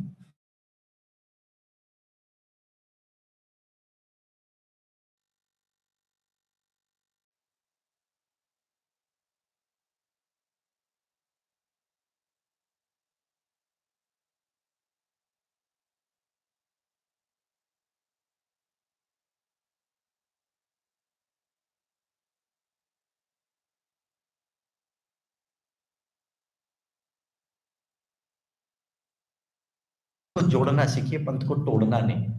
सिक्खी बनी है जोड़ने के लिए, तोड़ने के लिए नहीं। तो एक रिलीजियस आउटलुक देखकर हर एक चीज़ में अगर हम लोग कॉन्ट्रोवर्सीज पाएँगे, इसका कोई भी अर्थ नहीं बनने वाला। क्योंकि सिक्खी इज़ यूनिवर्सलिज्म सिक्खी जोड़ने के लिए बनी हुई है। तो इसके बावजूद जो बाबा फतेह सिंह जी की देन है, अगर हम लोग इसके ऊपर गौर करते हैं, सबसे कम उम्र था हाइट में छोटे थे तो उनके तीनों बड़े भाई गतके खेल रहे हैं। ये जब जाके पहुँचे, बोले, मेरे को भी गतका खेलनी है। तो उनके तीन भाई कहते हैं कि, आपकी उम्र बहुत छोटी है, आपकी हाइट भी बहुत छोटी है, आप जाइए। आप नहीं खेल सकते। पहले बड़े हुई फिर आइए। बाबा फतेह सिंह जी अपने कमरे में जाते हैं। कुछ समय के बाद जब बाहर आते हैं तो उनकी दुमाला इतनी लंबी होती है कि उनके तीनों भाइयों से वो लंबे दिखते हैं। महाराज देखकर इतने खुश हो गए कि उसी दिन ही महाराज ने फरमान कर दिए कि जो मेरा खालसा है, जो मेरी फौज है, वो इसी तरीके से दुमाला से जाएगा। तब जाके मैं उसको खालसा बोलूँगा। और इसी चीज़ के लिए आज भी अगर हम, हमारे पंजवा तखत जो है, चक्रवर्ती अकाली निहंग फौज, चलदा वहीर, शिरोमणि पंथ अकाली, बुड्ढा दल, छियानवे करोड़ी पंजवा तखत, अगर हम इसको देखेंगे, इसमें यही मर्यादा है कि दुमाला बांधने से पहले एक सलोक पढ़ के दुमाला बांधा जाता है, जिसको हम लोग बोलते हैं सलोक दुमाले का। ये आज भी मर्यादा में कायम है। और अगर आपको मर्यादा के बारे में कुछ जाननी हो तो आप बुढ़ा दल की मर्यादा देखिए और हजूर साहब की मर्यादा देखिए, जो कि साढ़े तीन सौ साल से वध की पुरातन है। और ये गुरु दसवीं पातशाह जी की आप देन है सारे सिखों के लिए। तो कुछ लोग जो महाराज के जो तखत है, उस तखत के ऊपर में भी किंतु परंतु करते हैं। ये हजूर साहब में जोत जला के आरती होती है तो जी, वो ऐसे होता है जो जी तिलक हो रही है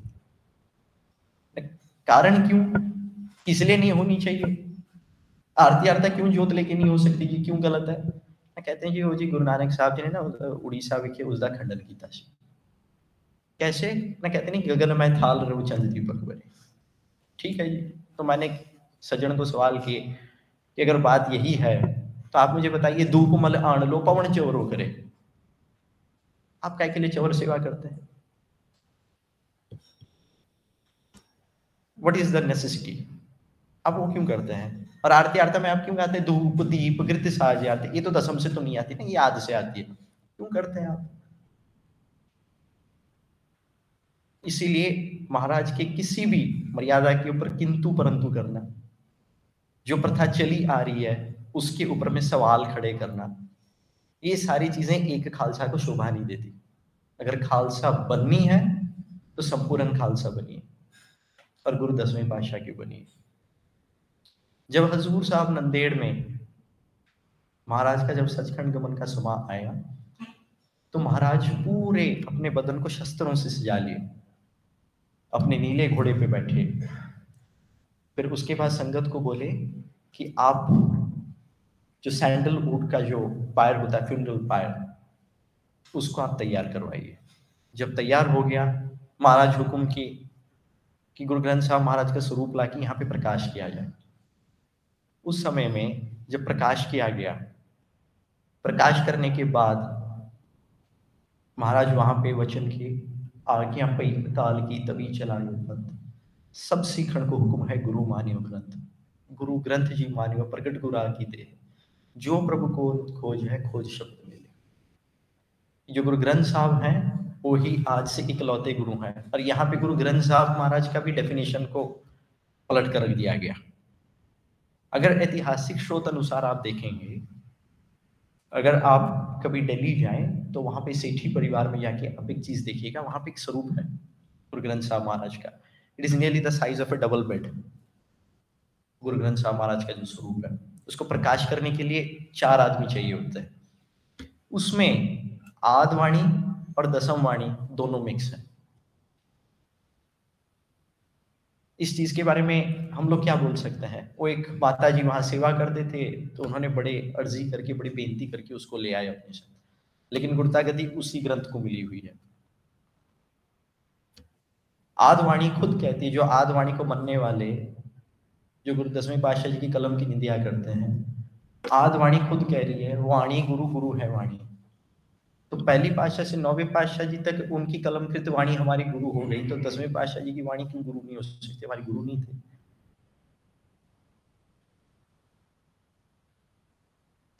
महाराज कहते हैं, चार मुए तो क्या हुआ? जीवत कई हज़ार। महाराज ने सबको अपने बेटे बनाए। महाराज ने सबको अपने बच्चे बनाए। क्या हमें ये शोभा देती है कि हम अपने ही पिता के कलम के ऊपर में क्वेश्चन मार्क लगाएँ?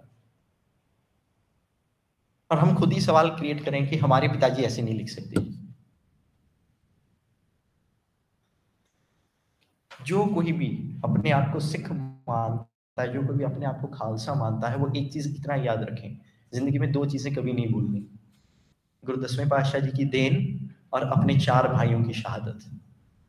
अगर गुरु दसवें पातशाह जी हमारे पिता हैं तो चार साहिबजादे हमारे भाई हैं। तो हमें अपने भाइयों की शहादत को नहीं भूलनी, इस कौम के देन को नहीं भूलनी, क्योंकि गुरु दसवें पातशाह जी अपना सर्वंस वार करके इस पंथ को खड़ा किए हुए हैं। इसलिए कोई भी कर्म अपनी ज़िंदगी में ऐसा ना करे कि जिसके लिए गुरु दसवें पातशाह जी का सर हमारे लिए ही झुक जाए। जब भी मैं जाता हूँ, कोई भी गुरुद्वारे साहब में, चाहे ऐतिहासिक हो, चाहे लोकल हो जब भी मैं जाता हूँ, बहुत कुछ सोच के जाता हूँ कि भाई आज इस चीज़ के लिए अरदास करनी है, उस चीज़ के लिए अरदास करनी है। जब सामने पहुँच जाते हैं तो खुद को माड़ा फील होता है कि क्या मैं इस चीज़ के लिए काबिल हूँ मांगने के लिए। तो उस टाइम एक ही चीज़ आ जाता है ज़ुबान पे, महाराज, मैं नहीं बोलता कि आप मेरे पे कृपा करो। मैं आपसे कुछ मांगने नहीं आया। मैं बस आपको इतना मांगने आया कि आप मुझे अपनी कृपा पाने के लायक बना दें। नहीं बनना आपका बेटा, मैं उसके लायक नहीं हूँ। दास ही बना लीजिए, उतना काफ़ी है। जो महाराज का जो कॉन्सेप्ट है, जो महाराज की जो कलम है, जो महाराज की जो फिलोसफी है, वो एक सागर से भी बेअंत है। इसलिए अपने दिमाग के बूंद रूपी बुद्धि को महाराज की बुद्धि के साथ कंपेयर ना कीजिए। खुद धोखा खा जाएँगे। महाराज ऐसे क्यों लिखे? महाराज ऐसे नहीं लिख सकते। वो एक तुक आती है। जब खालसा सृजना दिवस हुआ जस्ट उसके पहले ही दिन महाराज जी ने का वाणी उच्चारण किए उगरदंती छक्का भगवती जी का। उस वाणी की महत्व इतनी है, गुरु साहब आप परमात्मा ने, वाणी कहती गुरु परमेश्वरी को जान। जो अकाल पुरख है, वो निर्गुण स्वरूप है, उसके सरगुण स्वरूप आप गुरु साहब हैं। गुरु साहब वहाँ पे खुद अरदास कर रहे हैं परमात्मा को कि सगल जगत मो खालसा पंथ गाजे, जगे हिंदक धर्म सकल तुर्कन तुंत पाजे। ये क्यों कर रहे हैं महाराज? क्यों अरदास कर रहे हैं? जब वो खुद हुक्म देने वाले भी वही हैं, हुक्म के पालना करने वाले भी वही हैं तो वो अरदास क्यों कर रहे हैं? परमात्मा। क्योंकि महाराज खुद चाहते हैं कि उनके जो सिख हैं, वो भी इसी कॉन्सेप्ट को फॉलो करें कि कोई भी चीज़ आरंभ करने से पहले वो खुद अरदास करे। और यहाँ पे महाराज साहब बोल रहे हैं, सगल जगत मो खालसा बंद गया, जब सारे जगत में मेरा खालसा गज के आएगा। जगे हिंदक धर्म, जो हिंद देश, हिंदक is not equal to Hindu religion हिंदक का मतलब होता है हिंद देश, इस देश का जो धर्म है। धर्म क्या है महाराज की परिभाषा? Dharma is righteousness dharma is not specific religion जगे हिंदक धर्म, सकल तुर्कन तुर्क इज़ नॉट इक्वल टू मुसलमान, तुर्क is equal to foreign invader इस नाते पढ़िए। तब जाके आपको वाणी की महत्तम समझ में आएगी। कुछ लोग, कुछ दिन पहले हमारे साथ डिबेट करने आए। कहते हैं जी देखो जी सार्वलो में देवी की उस्तत हुई। मैंने पूछा, कैसे? मैं कहते हैं, देखो जी, श्री भवानी की सा है। मैंने बोला अच्छा तो भवानी देवी है? ना हाँ जी हाँ देवी है। तो मैं क्या, भाई, एक बात बताइए, आपके घर में कोई लेडीज़ हैं? ना हाँ है। ना, आप उनके नाम कि श्री लगाते हैं क्या? आप अपने माताएँ हो बहनें हो या आपकी बीवी भी क्यों ना हो? आप क्या उनके नाम कि मिस्टर लगाते हैं? कहते, नहीं जी तो फिर देवी की उस्तद क्या होगी जेकर दसवें पातशाह जी का कलम को आपको समझनी है तो सबसे पहले शब्दों के अर्थ तक पहुंचिए। श्री भवानी जी सहाय, भवानी कौन है? भव का मतलब है पृथ्वी। आनी का मतलब है पैदा करने वाली शक्ति। श्री का मतलब है मालिक। सृष्ट में पैदा करने वाली शक्ति का जो मालिक है, मैं उसको अरदास कर रहा हूँ कि वो मेरे साहेब बने। ये गुरु दसवें पातशाह जी की कलम की खासियत है। और महाराज के कलम को समझना इतना आसान नहीं है। जहाँ पे सिर्फ़ एक खंडा, एक भगौती को 500 नाम के ऊपर में पुकारा जाता है शस्त्र नाम माला में। महाराज और भी बोलते हैं कि दो शस्त्रों के नाम मिलाने से एक तीसरा शस्त्र भी बनेगा। शस्त्र नाम माला में तो उनकी कलम को समझना इतना आसान नहीं है और जो शब्दों का जो खेल है महाराज का, वो बहुत ही यूनिक है। वो पूरे संसार में कोई नहीं कर सकता।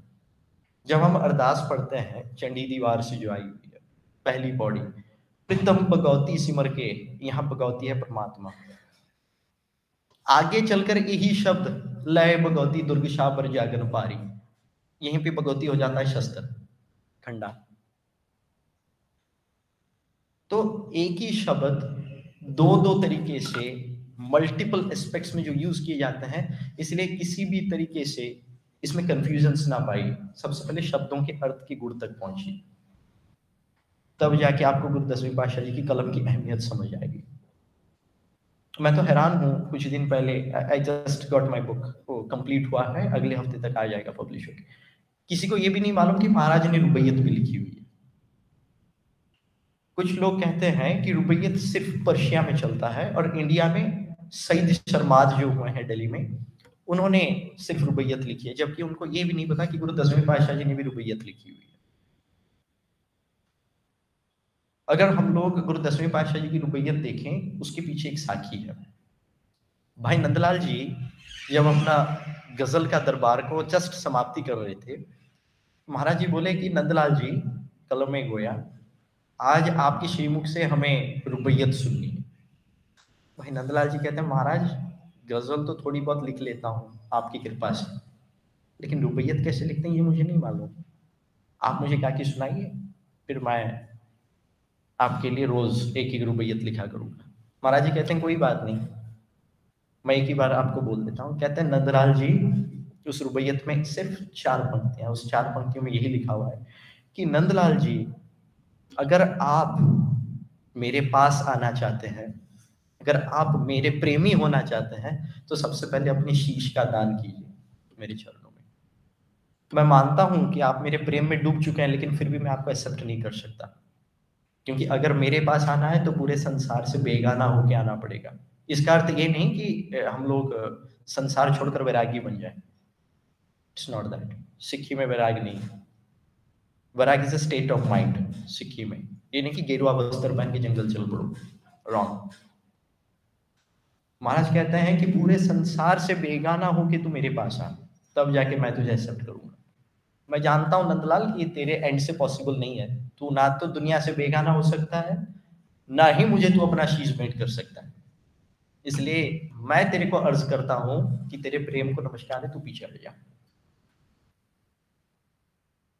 जो महाराज की कलम है, हर एक रिलीजियस स्क्रिप्चर्स में आप देखेंगे, आपको बोला जाएगा कि भक्ति तरीके, भक्ति करने का रास्ता ये है, श्रद्धा करने की रास्ता ये है। आपको इस तरीके से मत्था टेकना है, आपको इस तरीके से आपका जो धार्मिक मर्यादा है, आपको पूर्ण करनी महाराज अपने कलम में लिखते हैं, साँझ को हो, सुन ले हो सभी जिन प्रेम की तिनी प्रभ पाए जो प्रेम कर लिया, सो परमात्मा को पा गया। जो महाराज की लेख है प्रेम अनुबोध ग्रंथ उसमें महाराज लिखते हैं आज महाराज में जितने भी भगत साहिबन के हम वाणियाँ पढ़ते हैं जितने भी हम भक्तों का ज़िक्र भी सुनते हैं इंक्लूडिंग भगत प्रहलाद जी और यहाँ पे एक एडिशन भी हुआ है मीराबाई जी का। तो वहाँ पे महाराज लिखते हैं कि ये जितने भी भगत साहिबन हैं इन्होंने बहुत तप किए इन्होंने बहुत भक्ति किए इन्होंने बहुत पेनेंस किए हुए हैं इन्होंने बहुत ऑस्ट्रिटीज किए हुए हैं still they couldn't attend the परमात्मा। एक ही चीज़ किए परमात्मा को पागे उससे प्रेम कर लिए। परमात्मा से प्रेम करना सीखो। इसमें भी हमारे ऊपर में एक सवाल आया कि भाई आदि श्री गुरु ग्रंथ साहब महाराज में मीराबाई की ज़िक्र नहीं है, दसवें पातशाह जी यहाँ ज़िक्र करते हैं, ये गलत है। ये दसवें पातशाह की नहीं हो सकती। तो मैंने उनको एक छोटा सा सवाल किया, मन रे प्रभु की शरण विचारो जेह सिमरत गणका सियुदरी गणका कौन है? गणका इज़ ए प्रोस्टिट्यूट अगर एक प्रोस्टिट्यूट नाम सिमरन करके, पुण्य कमा के, आज श्री गुरु ग्रंथ साहब महाराज में अपना दर्जा बना सकती है तो एक भक्ति मूवमेंट के इतने बड़े संत, वो अपना नाम क्यों नहीं जमा सकते दसवें पातशाह जी के कलम? न देखिए जी लास्ट में लिखा हुआ है, पोथी पूरन सदगुरु की नहीं ये कोई दूसरा लिखारी लिख रहा है, उसने दसवें पातशाह जी को थैंक्स बोल दिया। मैंने कहा, मेरा प्यारा प्रीतम, सतगुरु रखवाला हम बारक तेरे करो पाला। तो इसका मतलब ये भी कोई सिख लिख रहा है महाराज की उस्तत करके। इसीलिए अगर गुरु दसवीं पातशाह जी की कलम को समझनी है, सबसे पहले आद महाराज को समझिए। जब तक आप आद महाराज को नहीं समझते, आप दसम महाराज को नहीं समझ सकते। क्योंकि जो दसम वाणी है, वो संपूर्ण आद महाराज की टीका ही है। दोनों में कोई फ़र्क नहीं है। इसी चीज़ को स्पष्ट भी करने के लिए भाई नंदलाल जी ने एक बार जाके पूछे गुरु दसवीं पातशाह को कि महाराज, आप में और गुरु नानक साहब में फ़र्क क्या है? तो महाराज हँसते हुए कहते हैं, नंदलाल जी, हमू गुरु गोविंद सिंह, हमू गुरु नानक आस्त कि मैं ही गुरु गोविंद सिंह हूँ, मैं ही गुरु नानक हूँ। हमू रत्न मंजूर, कि मैं वही हूँ जो अकालपुर की ट्रेजर की चाबी अपने हाथ में रखता हूँ इसीलिए पहली पातशाह, दसवें पातशाह, नौवीं पातशाह, आठवीं पातशाह किसी के अंदर में डिफरेंस ना देखिए। वो सब एक ही अकाल नानक रूपी जोत है। बस बॉडी डिफर हुआ है। इसलिए हम लोग ये भी बोलते हैं, भाई लेनानो अंग लगा, गुरु अंगद दे पढ़ाया जो काबिल है, सो ही गुरगद्दी पाए। जो नहीं काबिल है, वो नहीं पाए। यही कॉन्सेप्ट है, सिक्की का। और वाणी से हमेशा जुड़े रहिए। जब महाराज अपने आखिरी वर्ड्स भी बोल के गए सिखों को, जब सिख विराग कर रहे थे हजूर साहब में महाराज ने उनको एक ही चीज़ बोली कि तीन तीन चीज़ें कभी नहीं छोड़नी।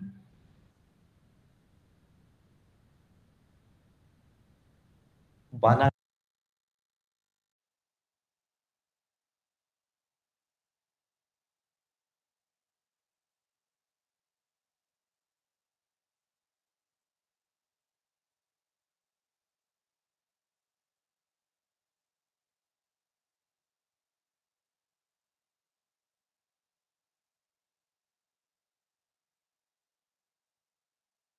कराऊं, छूलन नीति हस्ती साजे, द्वार द्वार बरनाओ गज बाजे। सवा लाख जब तुके फलीदा तबे खालसा उदय अस्तुर कि राज करेगा खालसा आकी रहे ना कोई। ख्वार हुए, सब मिलेंगे बचे शरण जो हुए।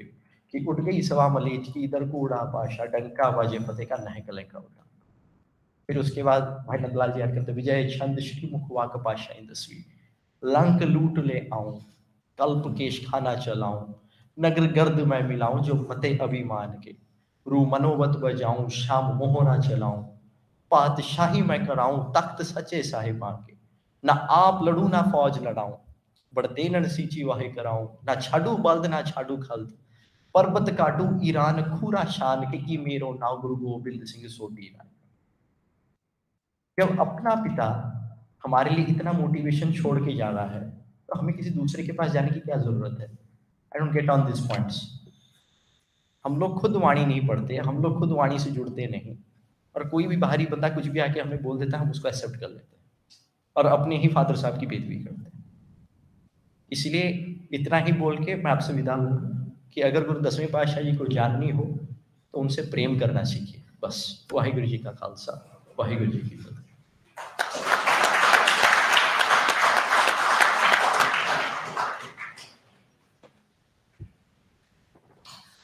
ਬਹੁਤ ਬਹੁਤ ਸ਼ੁਕਰੀਆ ਅਬਨਾਸ਼ ਜੀ ਦਸਮ ਪਾਤਸ਼ਾਹ ਦੀ ਸ਼ਖਸੀਅਤ ਨੂੰ ਉਹਨਾਂ ਦੀ ਸਿਰਜਣਾ ਦੇ ਉਹਨਾਂ ਦੇ ਸਾਹਿਤ ਦੇ ਉਹਨਾਂ ਦੀ ਬਾਣੀ ਦੇ ਵੱਖਰੇ ਵੱਖਰੇ ਰੂਪਾਂ ਰੰਗਾਂ ਸ਼ੈਲੀ ਦੇ ਰਾਹੀਂ ਸਾਡੇ ਨਾਲ ਤੁਸੀਂ ਸਾਂਝਾ ਕੀਤਾ ਔਰ ਖਾਸ ਕਰਕੇ ਬਹੁਤ ਸਾਰੇ ਅਜਿਹੇ ਮਸਲੇ ਜਿਨ੍ਹਾਂ ਦੇ ਨਾਲ ਸਿੱਖ ਸਮਾਜ ਜੂਝ ਰਿਹਾ ਹੈ ਸਾਡੀ ਸਮੱਸਿਆ ਹੈ ਸਾਡੀ ਅੱਜ ਦੀ ਸਮੱਸਿਆ ਇਹ ਹੈ ਕਿ ਅਸੀਂ ਆਪਣੀ ਪਰੰਪਰਾ ਦੇ ਨਾਲੋਂ ਟੁੱਟ ਚੁੱਕੇ ਹਾਂ। ਔਰ ਜੋ ਅਸੀਂ ਅਹ, ਚੀਜ਼ਾਂ ਤੇ ਵਿਸ਼ਵਾਸ ਕਰ ਰਹੇ ਹਾਂ, ਉਹ ਸੁਣੀਆਂ ਹੋਈਆਂ ਨੇ ਕੰਨੀ ਸੁਣੀਆਂ ਹੋਈਆਂ ਨੇ। ਜਦੋਂ ਤੁਸੀਂ ਕਿਸੇ ਵਿਸ਼ੇ ਦੇ ਨਾਲ ਸਿੱਧਾ ਜੁੜਦੇ ਹੋ ਤਾਂ ਬਹੁਤ ਸਾਰੇ ਪ੍ਰਸ਼ਨ ਬਹੁਤ ਸਾਰੇ ਸ਼ੰਕੇ ਉਹਨਾਂ ਦੇ ਸਮਾਧਾਨ ਤਾਂ ਸਾਨੂੰ ਉਦੋਂ ਹੀ ਨਜ਼ਰ ਆਉਣੇ ਸ਼ੁਰੂ ਹੋ ਜਾਂਦੇ ਆ। ਉਹ ਭਾਵੇਂ ਸਾਡੀ ਭਾਰਤੀ ਚਿੰਤਨ ਪਰੰਪਰਾ ਹੋਵੇ ਗਿਆਨ ਪਰੰਪਰਾ ਹੋਵੇ ਭਾਵੇਂ ਉਹ ਸਾਡੀ ਧਰਮ ਦੀ ਪਰੰਪਰਾ ਹੋਵੇ ਭਾਵੇਂ ਸਾਡੀ ਮਿਥਿਹਾਸ ਦੀ ਪਰੰਪਰਾ ਹੋਵੇ ਕਿਉਂਕਿ ਜਿਵੇਂ ਗੱਲ ਕੀਤੀ ਸੀ ਇਹਨਾਂ ਨੇ ਕਿ ਸਿੱਖੀ ਤੋੜਨ ਦਾ ਨਾਮ ਨਹੀਂ ਹੈ ਸਿੱਖੀ ਜੋੜਨ ਦਾ ਨਾਮ ਹੈ। ਔਰ ਇਹ ਛੋਟਾ ਵਾਕ ਨਹੀਂ ਹੈ। ਕਿਤੇ ਵੀ ਨਾ ਗੁਰੂ ਗੋਬਿੰਦ ਇੱਥੇ ਇਹ ਬਾਰ-ਬਾਰ ਆਦ ਗ੍ਰੰਥ ਦੀ ਵੱਲ ਗੱਲ ਕਰ ਰਹੀ ਸੀ ਸ੍ਰੀ ਗੁਰੂ ਗ੍ਰੰਥ ਸਾਹਿਬ ਦੀ ਕਿਉਂਕਿ ਜਿਹੜੇ ਅ, ਮਰਿਆਦਾ ਜਿਹੜੀ ਪੁਰਾਣੀ ਮਰਿਆਦਾ ਹੈਗੀ ਉਹ ਸ੍ਰੀ ਗੁਰੂ ਗ੍ਰੰਥ ਸਾਹਿਬ ਨੂੰ ਆਦ ਕਰਕੇ ਆਦ ਮਤਲਬ ਪਹਿਲਾ ਕਰਕੇ ਸਤਿਕਾਰ ਦਿੰਦੀ ਹੈ। ਤੇ ਅਸੀਂ ਨਾ ਤਾਂ ਆਦ ਨੂੰ ਜਾਣਦੇ ਆ, ਨਾ ਅਸੀਂ ਅੰਤ ਨੂੰ ਜਾਣਦੇ ਆ। ਅਸੀਂ ਵਿੱਚ ਵਿਚਕਾਰ ਲਟਕ ਰਹੇ ਆ ਤੇ ਮੈਨੂੰ, ਕਿਉਂਕਿ ਇਸ ਵਿਸ਼ੇ ਦੇ ਨਾਲ ਥੋੜਾ ਜਿਹਾ ਸੰਬੰਧਿਤ ਹੋਣ ਕਰਕੇ ਲੱਗ ਰਿਹਾ ਸੀ ਕਿ ਬਹੁਤ ਸਾਰੇ ਅਜਿਹੇ ਪ੍ਰਸ਼ਨ ਹੈ, ਜਿਹੜੇ ਇਹਨਾਂ ਨੇ ਆਪਣੇ ਇਸ ਭਾਸ਼ਣ ਦੇ ਰਾਹੀਂ ਹੱਲ ਕਰਨ ਦੀ ਕੋਸ਼ਿਸ਼ ਕੀਤੀ ਹੈ। ਖਾਸ ਕਰਕੇ ਮੇਰੇ ਵਰਗੇ ਜਿਹੜੇ ਇਸ ਵਿਸ਼ੇ ਦੇ ਨਾਲ ਜੁੜੇ ਹੋਏ ਲੋਕ ਨੇ। ਹੁਣ ਮੈਂ ਬੇਨਤੀ ਕਰਾਂਗੀ ਸਾਡੇ ਭਾਈ ਸ਼ਾਂਤਰ ਸਰ, ਸਾਡੇ ਪ੍ਰੇਰਨਾ ਸਰੋਤ ਕਿ ਉਹ ਆਉਣ ਤੇ ਅੱਜ ਦਾ ਜਿਹੜਾ ਪ੍ਰਧਾਨਗੀ ਸ਼ਬਦ ਨੇ ਸਾਡੇ ਨਾਲ ਸਾਂਝੇ ਕਰ ਮਾਨਯੋਗ ਭਾਈ ਸ਼ਾਂਤਰ ਸਰ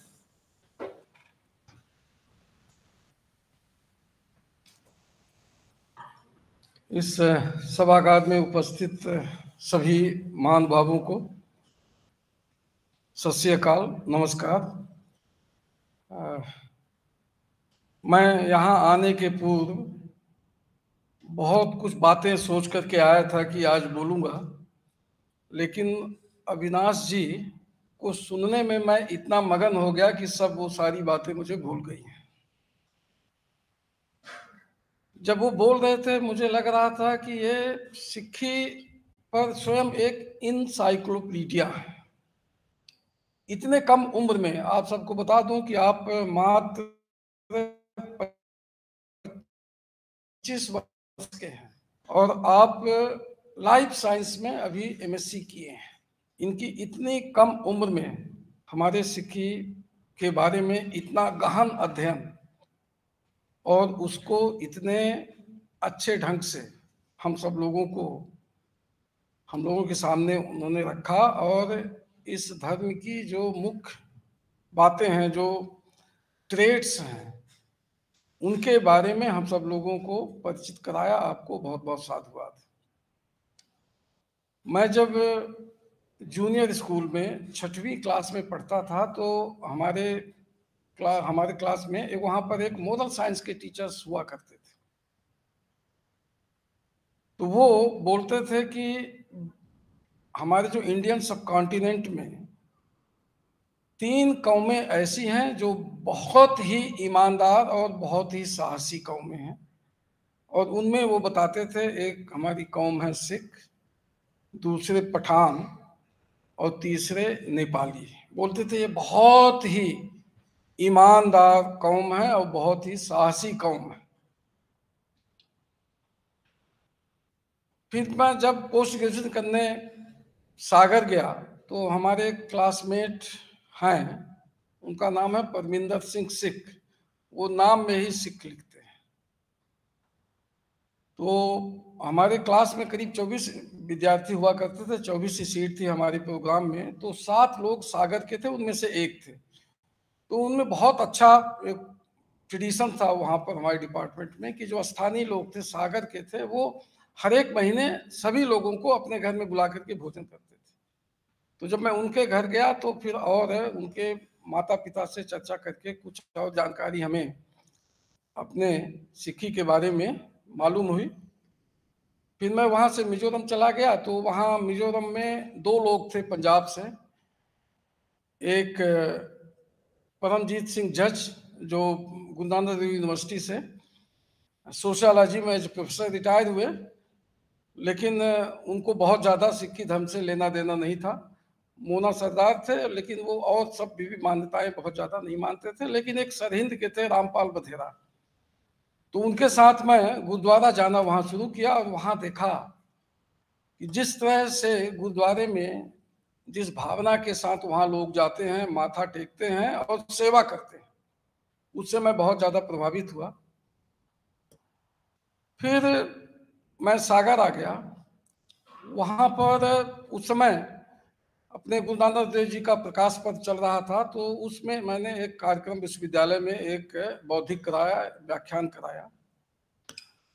तो अब वहाँ के जो सिख समाज से वो मुझसे जुड़ गए और फिर हम लोग डिफरेंट ओकेजन्स में, प्रकाश पद में ज्योति ज्योति में, शहीदी दिवस में ग्रीटिंग्स एक्सचेंज करते रहे और जब मुझे यहाँ यहाँ आना हुआ 14 अगस्त 2020 को मुझे नियुक्ति पत्र मिला।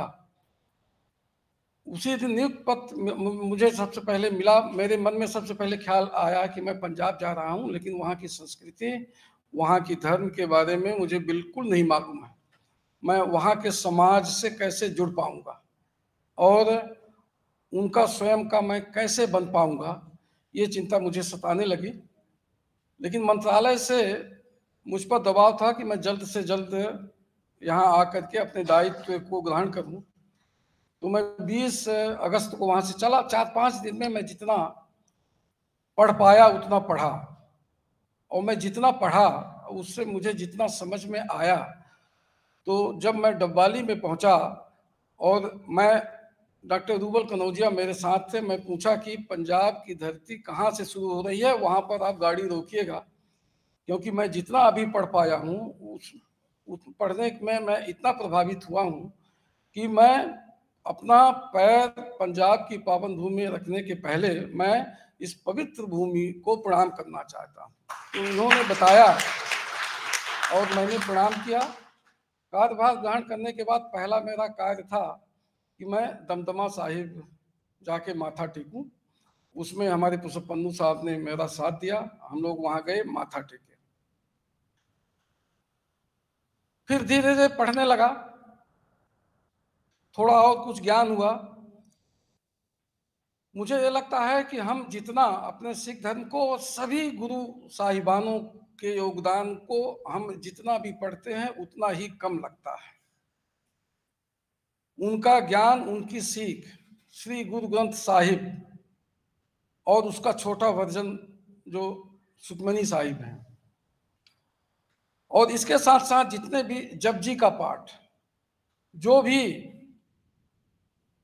शब्द जो भी अंग, मैं सिविल लाइन्स में रहता हूँ तो वहाँ पर सुनाई देता रहता है सुबह सुबह उठ करके कभी कभी मैं बैठ करके सुन, सुनने लगता हूँ।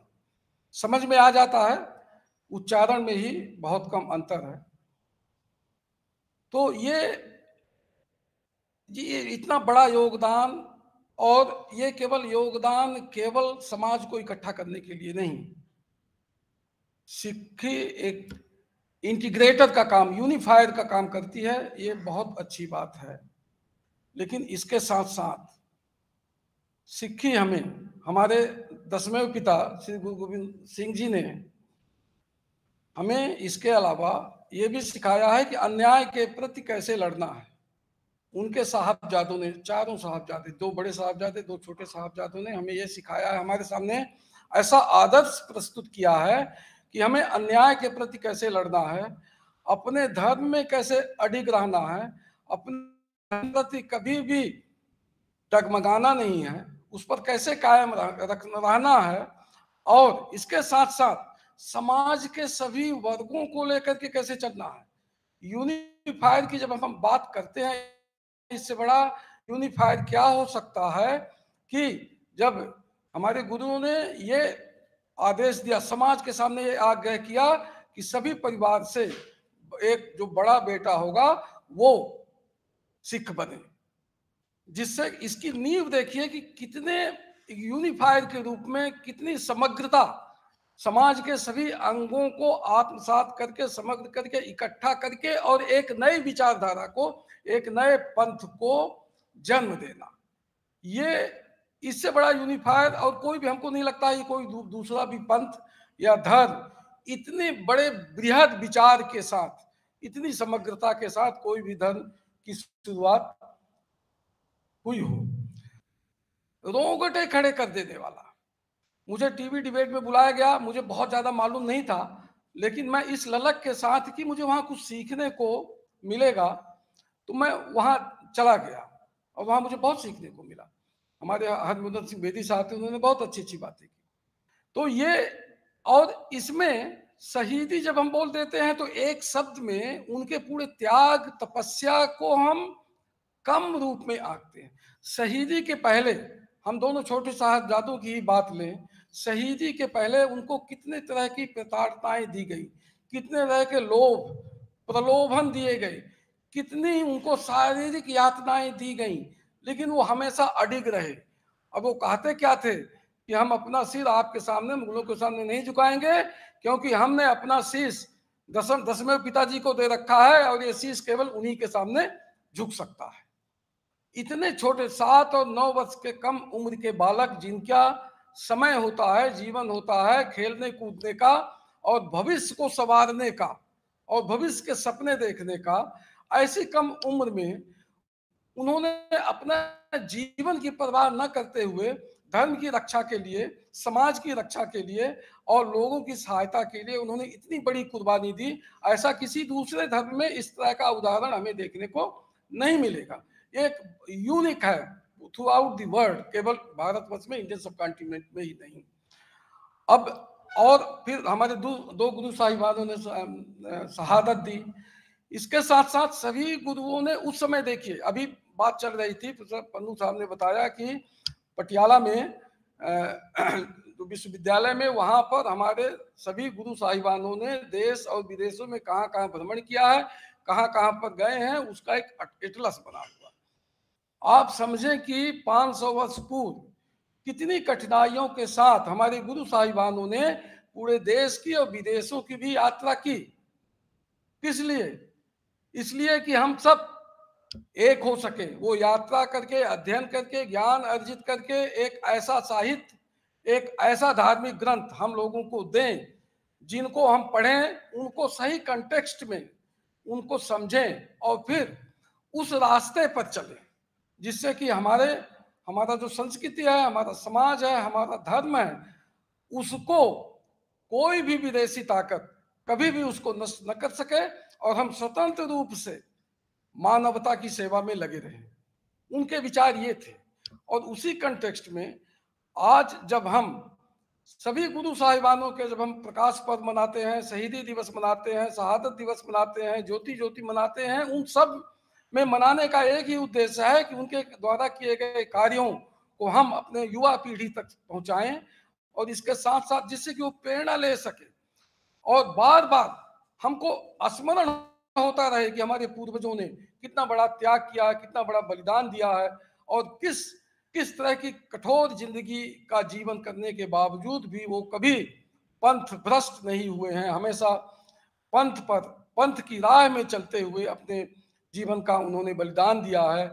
इस बात को, इस त्याग को हमेशा स्मरण कराने के लिए। इस तरह के कार्यक्रम यहाँ होने ज़रूरी है। जैसा कि पन्नू साहब ने बहुत अच्छी बात बोली। हमारे विश्वविद्यालय में संयोग बस ज़्यादा से ज़्यादा विद्यार्थी बाहर के वो यहाँ पर दो साल पीजी प्रोग्राम में पढ़ के जाएँगे या पीएचडी में चार पाँच साल रहेंगे। लेकिन वो यदि यहाँ की संस्कृति, यहाँ का यहाँ का कल्चर और यहाँ के गुरु साहिबानों का योगदान और अन्य जो यहाँ खूबियाँ हैं इस समाज की, इस धरती की, उसको यदि वो नहीं समझ पाएँगे तो वो सही मायने में पंजाब में उनकी शिक्षा दीक्षा का कार्य नहीं हो रहा क्योंकि समग्र शिक्षा के लिए और उनको पंजाब के प्रति उनके मन में प्रेम जगाने के लिए यहाँ पंजाब को जानना और पंजाब को मानना, पंजाब का बनना और पंजाब का बनाना, इसके लिए इस तरह के कार्यक्रम बहुत ही ज़रूरी होते हैं और ये एकेडमिक पॉइंट ऑफ़ व्यू से बहुत ज़रूरी है, क्योंकि जब हम समग्र शिक्षा की बात करते हैं तो हमारे देश के विभिन्न भागों में जो वहाँ की जो खूबी है, वहाँ की जो संस्कृति है, उसके बारे में हमारे युवाओं को जानना बहुत ही आवश्यक हो जाता है, तभी हमारा देश एक रह पाएगा।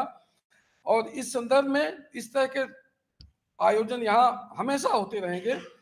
मैं पुनः अविनाश जी का बहुत बहुत आभार प्रकट करता हूँ, क्योंकि इतने कम उम्र में और इतनी लगन, उनकी लगन देखिए आप, उनकी कितने ज़्यादा लगन के साथ वो सिक्खी को समझ रहे हैं, हमारे गुरु साहिबानों को, योगदानों को समझ रहे हैं, उसको सही परिप्रेक्ष्य में रख रहे हैं, ऐसा, ऐसी लग्न हमें किसी दूसरे अपने देश के युवा में नहीं दिखाई दे रही है।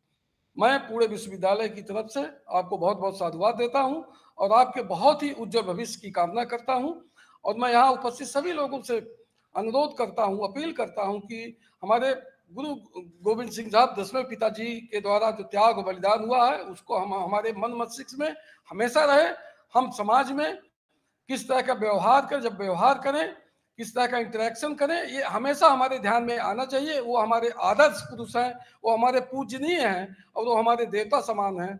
वो हमारे खालसा पंथ के संस्थापक हैं, जिसका कि बहुत ही पवित्र भावना के साथ इस पंथ की स्थापना हुई थी। इन्हीं शब्दों के साथ मैं अपनी वाणी को विराम देता हूँ। मैं रमनदीप जी का पन्नू जी का बहुत बहुत आभारी हूँ, जिन्होंने इस कार्यक्रम का बखूबी आयोजन किया। जय हिंद, जय Bharat.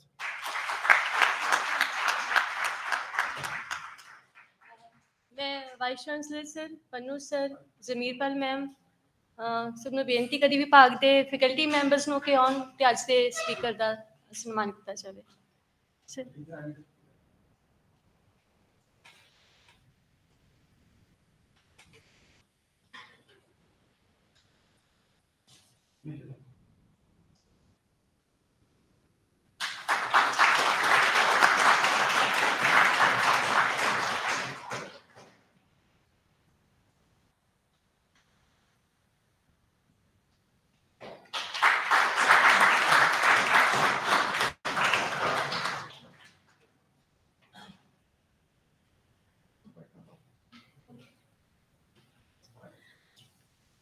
बहुत बहुत शुक्रिया सर गुरु गोबिंद सिंह जी महाराज जिथे साज कहो सुन लेह प्रभ सुन लेह सबे जिन प्रेम कियो तिन ही प्रभ पायो ਦਾ ਸਿਧਾਂਤ ਦਿੰਦੇ ਨੇ ਉੱਥੇ ਇਹ ਵੀ ਕਹਿੰਦੇ ਨੇ ਜਿਵੇਂ ਸਰ ਉਹਨਾਂ ਨੇ ਇਸ਼ਾਰਾ ਕੀਤਾ ਚੌਂਕਾਰ ਅਜ ਹਮਾਹੀਲ ਤੇ ਦਰ ਗੁਜਤ ਹਲਾਲ ਅਸਤ ਬੁੱਧਨ ਬਾ ਸ਼ਮਸ਼ੀਰ ਦਸਤ ਕਿ ਜਦੋਂ ਲੋੜ ਪਵੇ ਤਾਂ ਫਿਰ ਸ਼ਮਸ਼ੀਰ ਚੁੱਕਣੀ ਜਿਹੜੀ ਉਹ ਜਾਇਜ਼ ਹੈ ਉਹੀ ਦਸਮ ਪਾਤਸ਼ਾਹ ਉਹਨਾਂ ਦੀ ਵਾਣੀ ਦੇਹ ਸ਼ਿਵਾਵਰ ਮੋਹਈ ਹੈ ਸ਼ੁਕਰਮਨ ਤੇ ਕਬਹੂ ਨਾ ਡਰੂ ਨਾ ਡਰੂ ਅਰਸੋਂ ਜਬ ਜਾਏ ਲਰੂ, ਨਿਸ਼ਚੇ ਕਰ ਆਪਣੀ ਜੀਤ ਕਰੂ, ਜਿਹੜੀ ਮੁਰਦਿਆਂ ਦੇ ਵਿੱਚ ਜਾਨ ਪਰ ਦਿੰਦੀ ਹੈ। ਔਰ ਇਹ ਉਹ ਸਮਾਂ ਸੀ ਜਦੋਂ ਜਿਹੜੀ ਲੋਕਾਈ ਹੈ ਸਾਦਾ ਲੈ ਰਹੀ ਸੀ, ਪਰ ਜ਼ਮੀਰ ਮਰ ਚੁੱਕੀ ਸੀ। ਮੈਂ ਹੁਣ doctor Vipanpal Singh, associate professor ਅੰਗਰੇਜ਼ੀ ਵਿਭਾਗ ਨੂੰ ਬੇਨਤੀ ਕਰਨੀ ਹਾਂ ਕਿ ਉਹ ਸਭ ਦਾ ਧੰਨਵਾਦੀ ਧੰਨਵਾਦ ਦਾ ਮਤਾ ਪਾਸ ਕਰਨ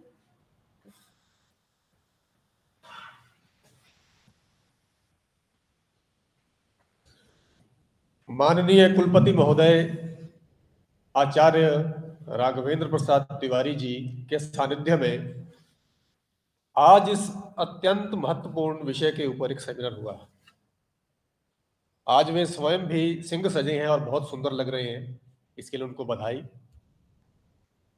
विषय के ऊपर बोलते हुए मुख्य वक्ता अविनाश महापात्रा जी,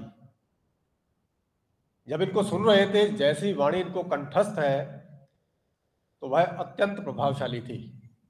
इन्होंने अपने व्याख्यान के अंदर जाप साहिब में से कुछ कोट किया था। चक्र चिन्ह और वर्ण जात और पात ना ही जय, रूप रंग और रेख भेद को कह ना सकते कि जो एग्जिस्टेंस ऑफ़ गॉड है that cannot be realised through any palpable referent वही आगे वो चलकर लिखते हैं तो फिर गॉड की एग्जिस्टेंस को कैसे महसूस करें? सदा अंग संगे विभंग बभूते। Those who are innately pure they will realise the existence of God इनका अंतःकरण बहुत शुद्ध है। यही कारण है कि वाणी इनको कंठस्थ है। इस धन्यवाद प्रस्तावना में मैं एक छोटी सी एडिशन करना चाहूँगा। यह पुण्य भूमि भारत है। समाज में जब जब अधोगति हुई, पतन हुआ, महापुरुषों ने जन्म लिया। जब बाबर ने अत्याचार किया, श्री गुरु नानक देव जी, उनकी बाबर वाणी। जिस समय दशमेश पिता का जन्म होता है तो अपने जन्म के संदर्भ में वे अपनी ऑटोबायोग्राफी विचित्र नाटक में लिखते हैं कि मेरा जन्म क्यों हुआ? मैं अपना सुत तोहे निवाजा, पंथ प्रचुर कर बे को साजा। जा ही तहा तय धर्म चलाए कुबुद्धि करण ते लोग हटाए। कि जब जब जहाँ जहाँ कुबुद्धिवश लोग अधर्म के मार्ग पर चलेंगे, उनको कुबुद्धि से हटाकर, अधर्म से हटाकर, धर्म के मार्ग पर लेके जाने के लिए मेरा जन्म हुआ है। आज के संदर्भ में हमारे समाज में अनेक विकृतियाँ दिखाई पड़ रही हैं। अधर्म का कई प्रकार का बोलबाला है। समाज विखंडित हो रहा है। ऐसे समय में दशमेश पिता की वाणी से शक्ति ग्रहण कर, पुनः इस समाज को धर्म के मार्ग पर लेकर जाने के लिए हम सभी कृत संकल्प हो। ईश्वर के समक्ष यही प्रार्थना है। इस सेमिनार के अंदर आदरणीय कुलपति महोदय, आज के मुख्य वक्ता श्री अविनाश महापत्रा जी, प्रोफेसर हरपाल सिंह पन्नू जी घुद्दा गाँव से आए हमारे अतिथिगण, फैकल्टी, शोध छात्र और छात्र, आप सभी का बहुत बहुत धन्यवाद। दशमेश पिता की व्यक्तित्व और कृतित्व से शक्ति लेकर हम पुनः समाज को धर्म के मार्ग पर लेकर जाएँगे। ईश्वर के समक्ष इसी प्रार्थना से वाणी को विराम देता हूं बहुत बहुत धन्यवाद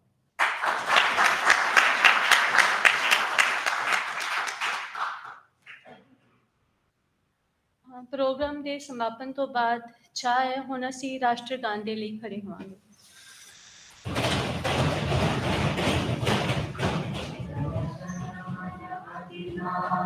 जय हे भारत भाग्य विधाता पंजाब सिंध गुजरात मराठा द्राविड उत्कल गंगा विंध्य हिमाचल यमुना गंगा उच्छल जगति तरंगा तब शुभ नामे जागे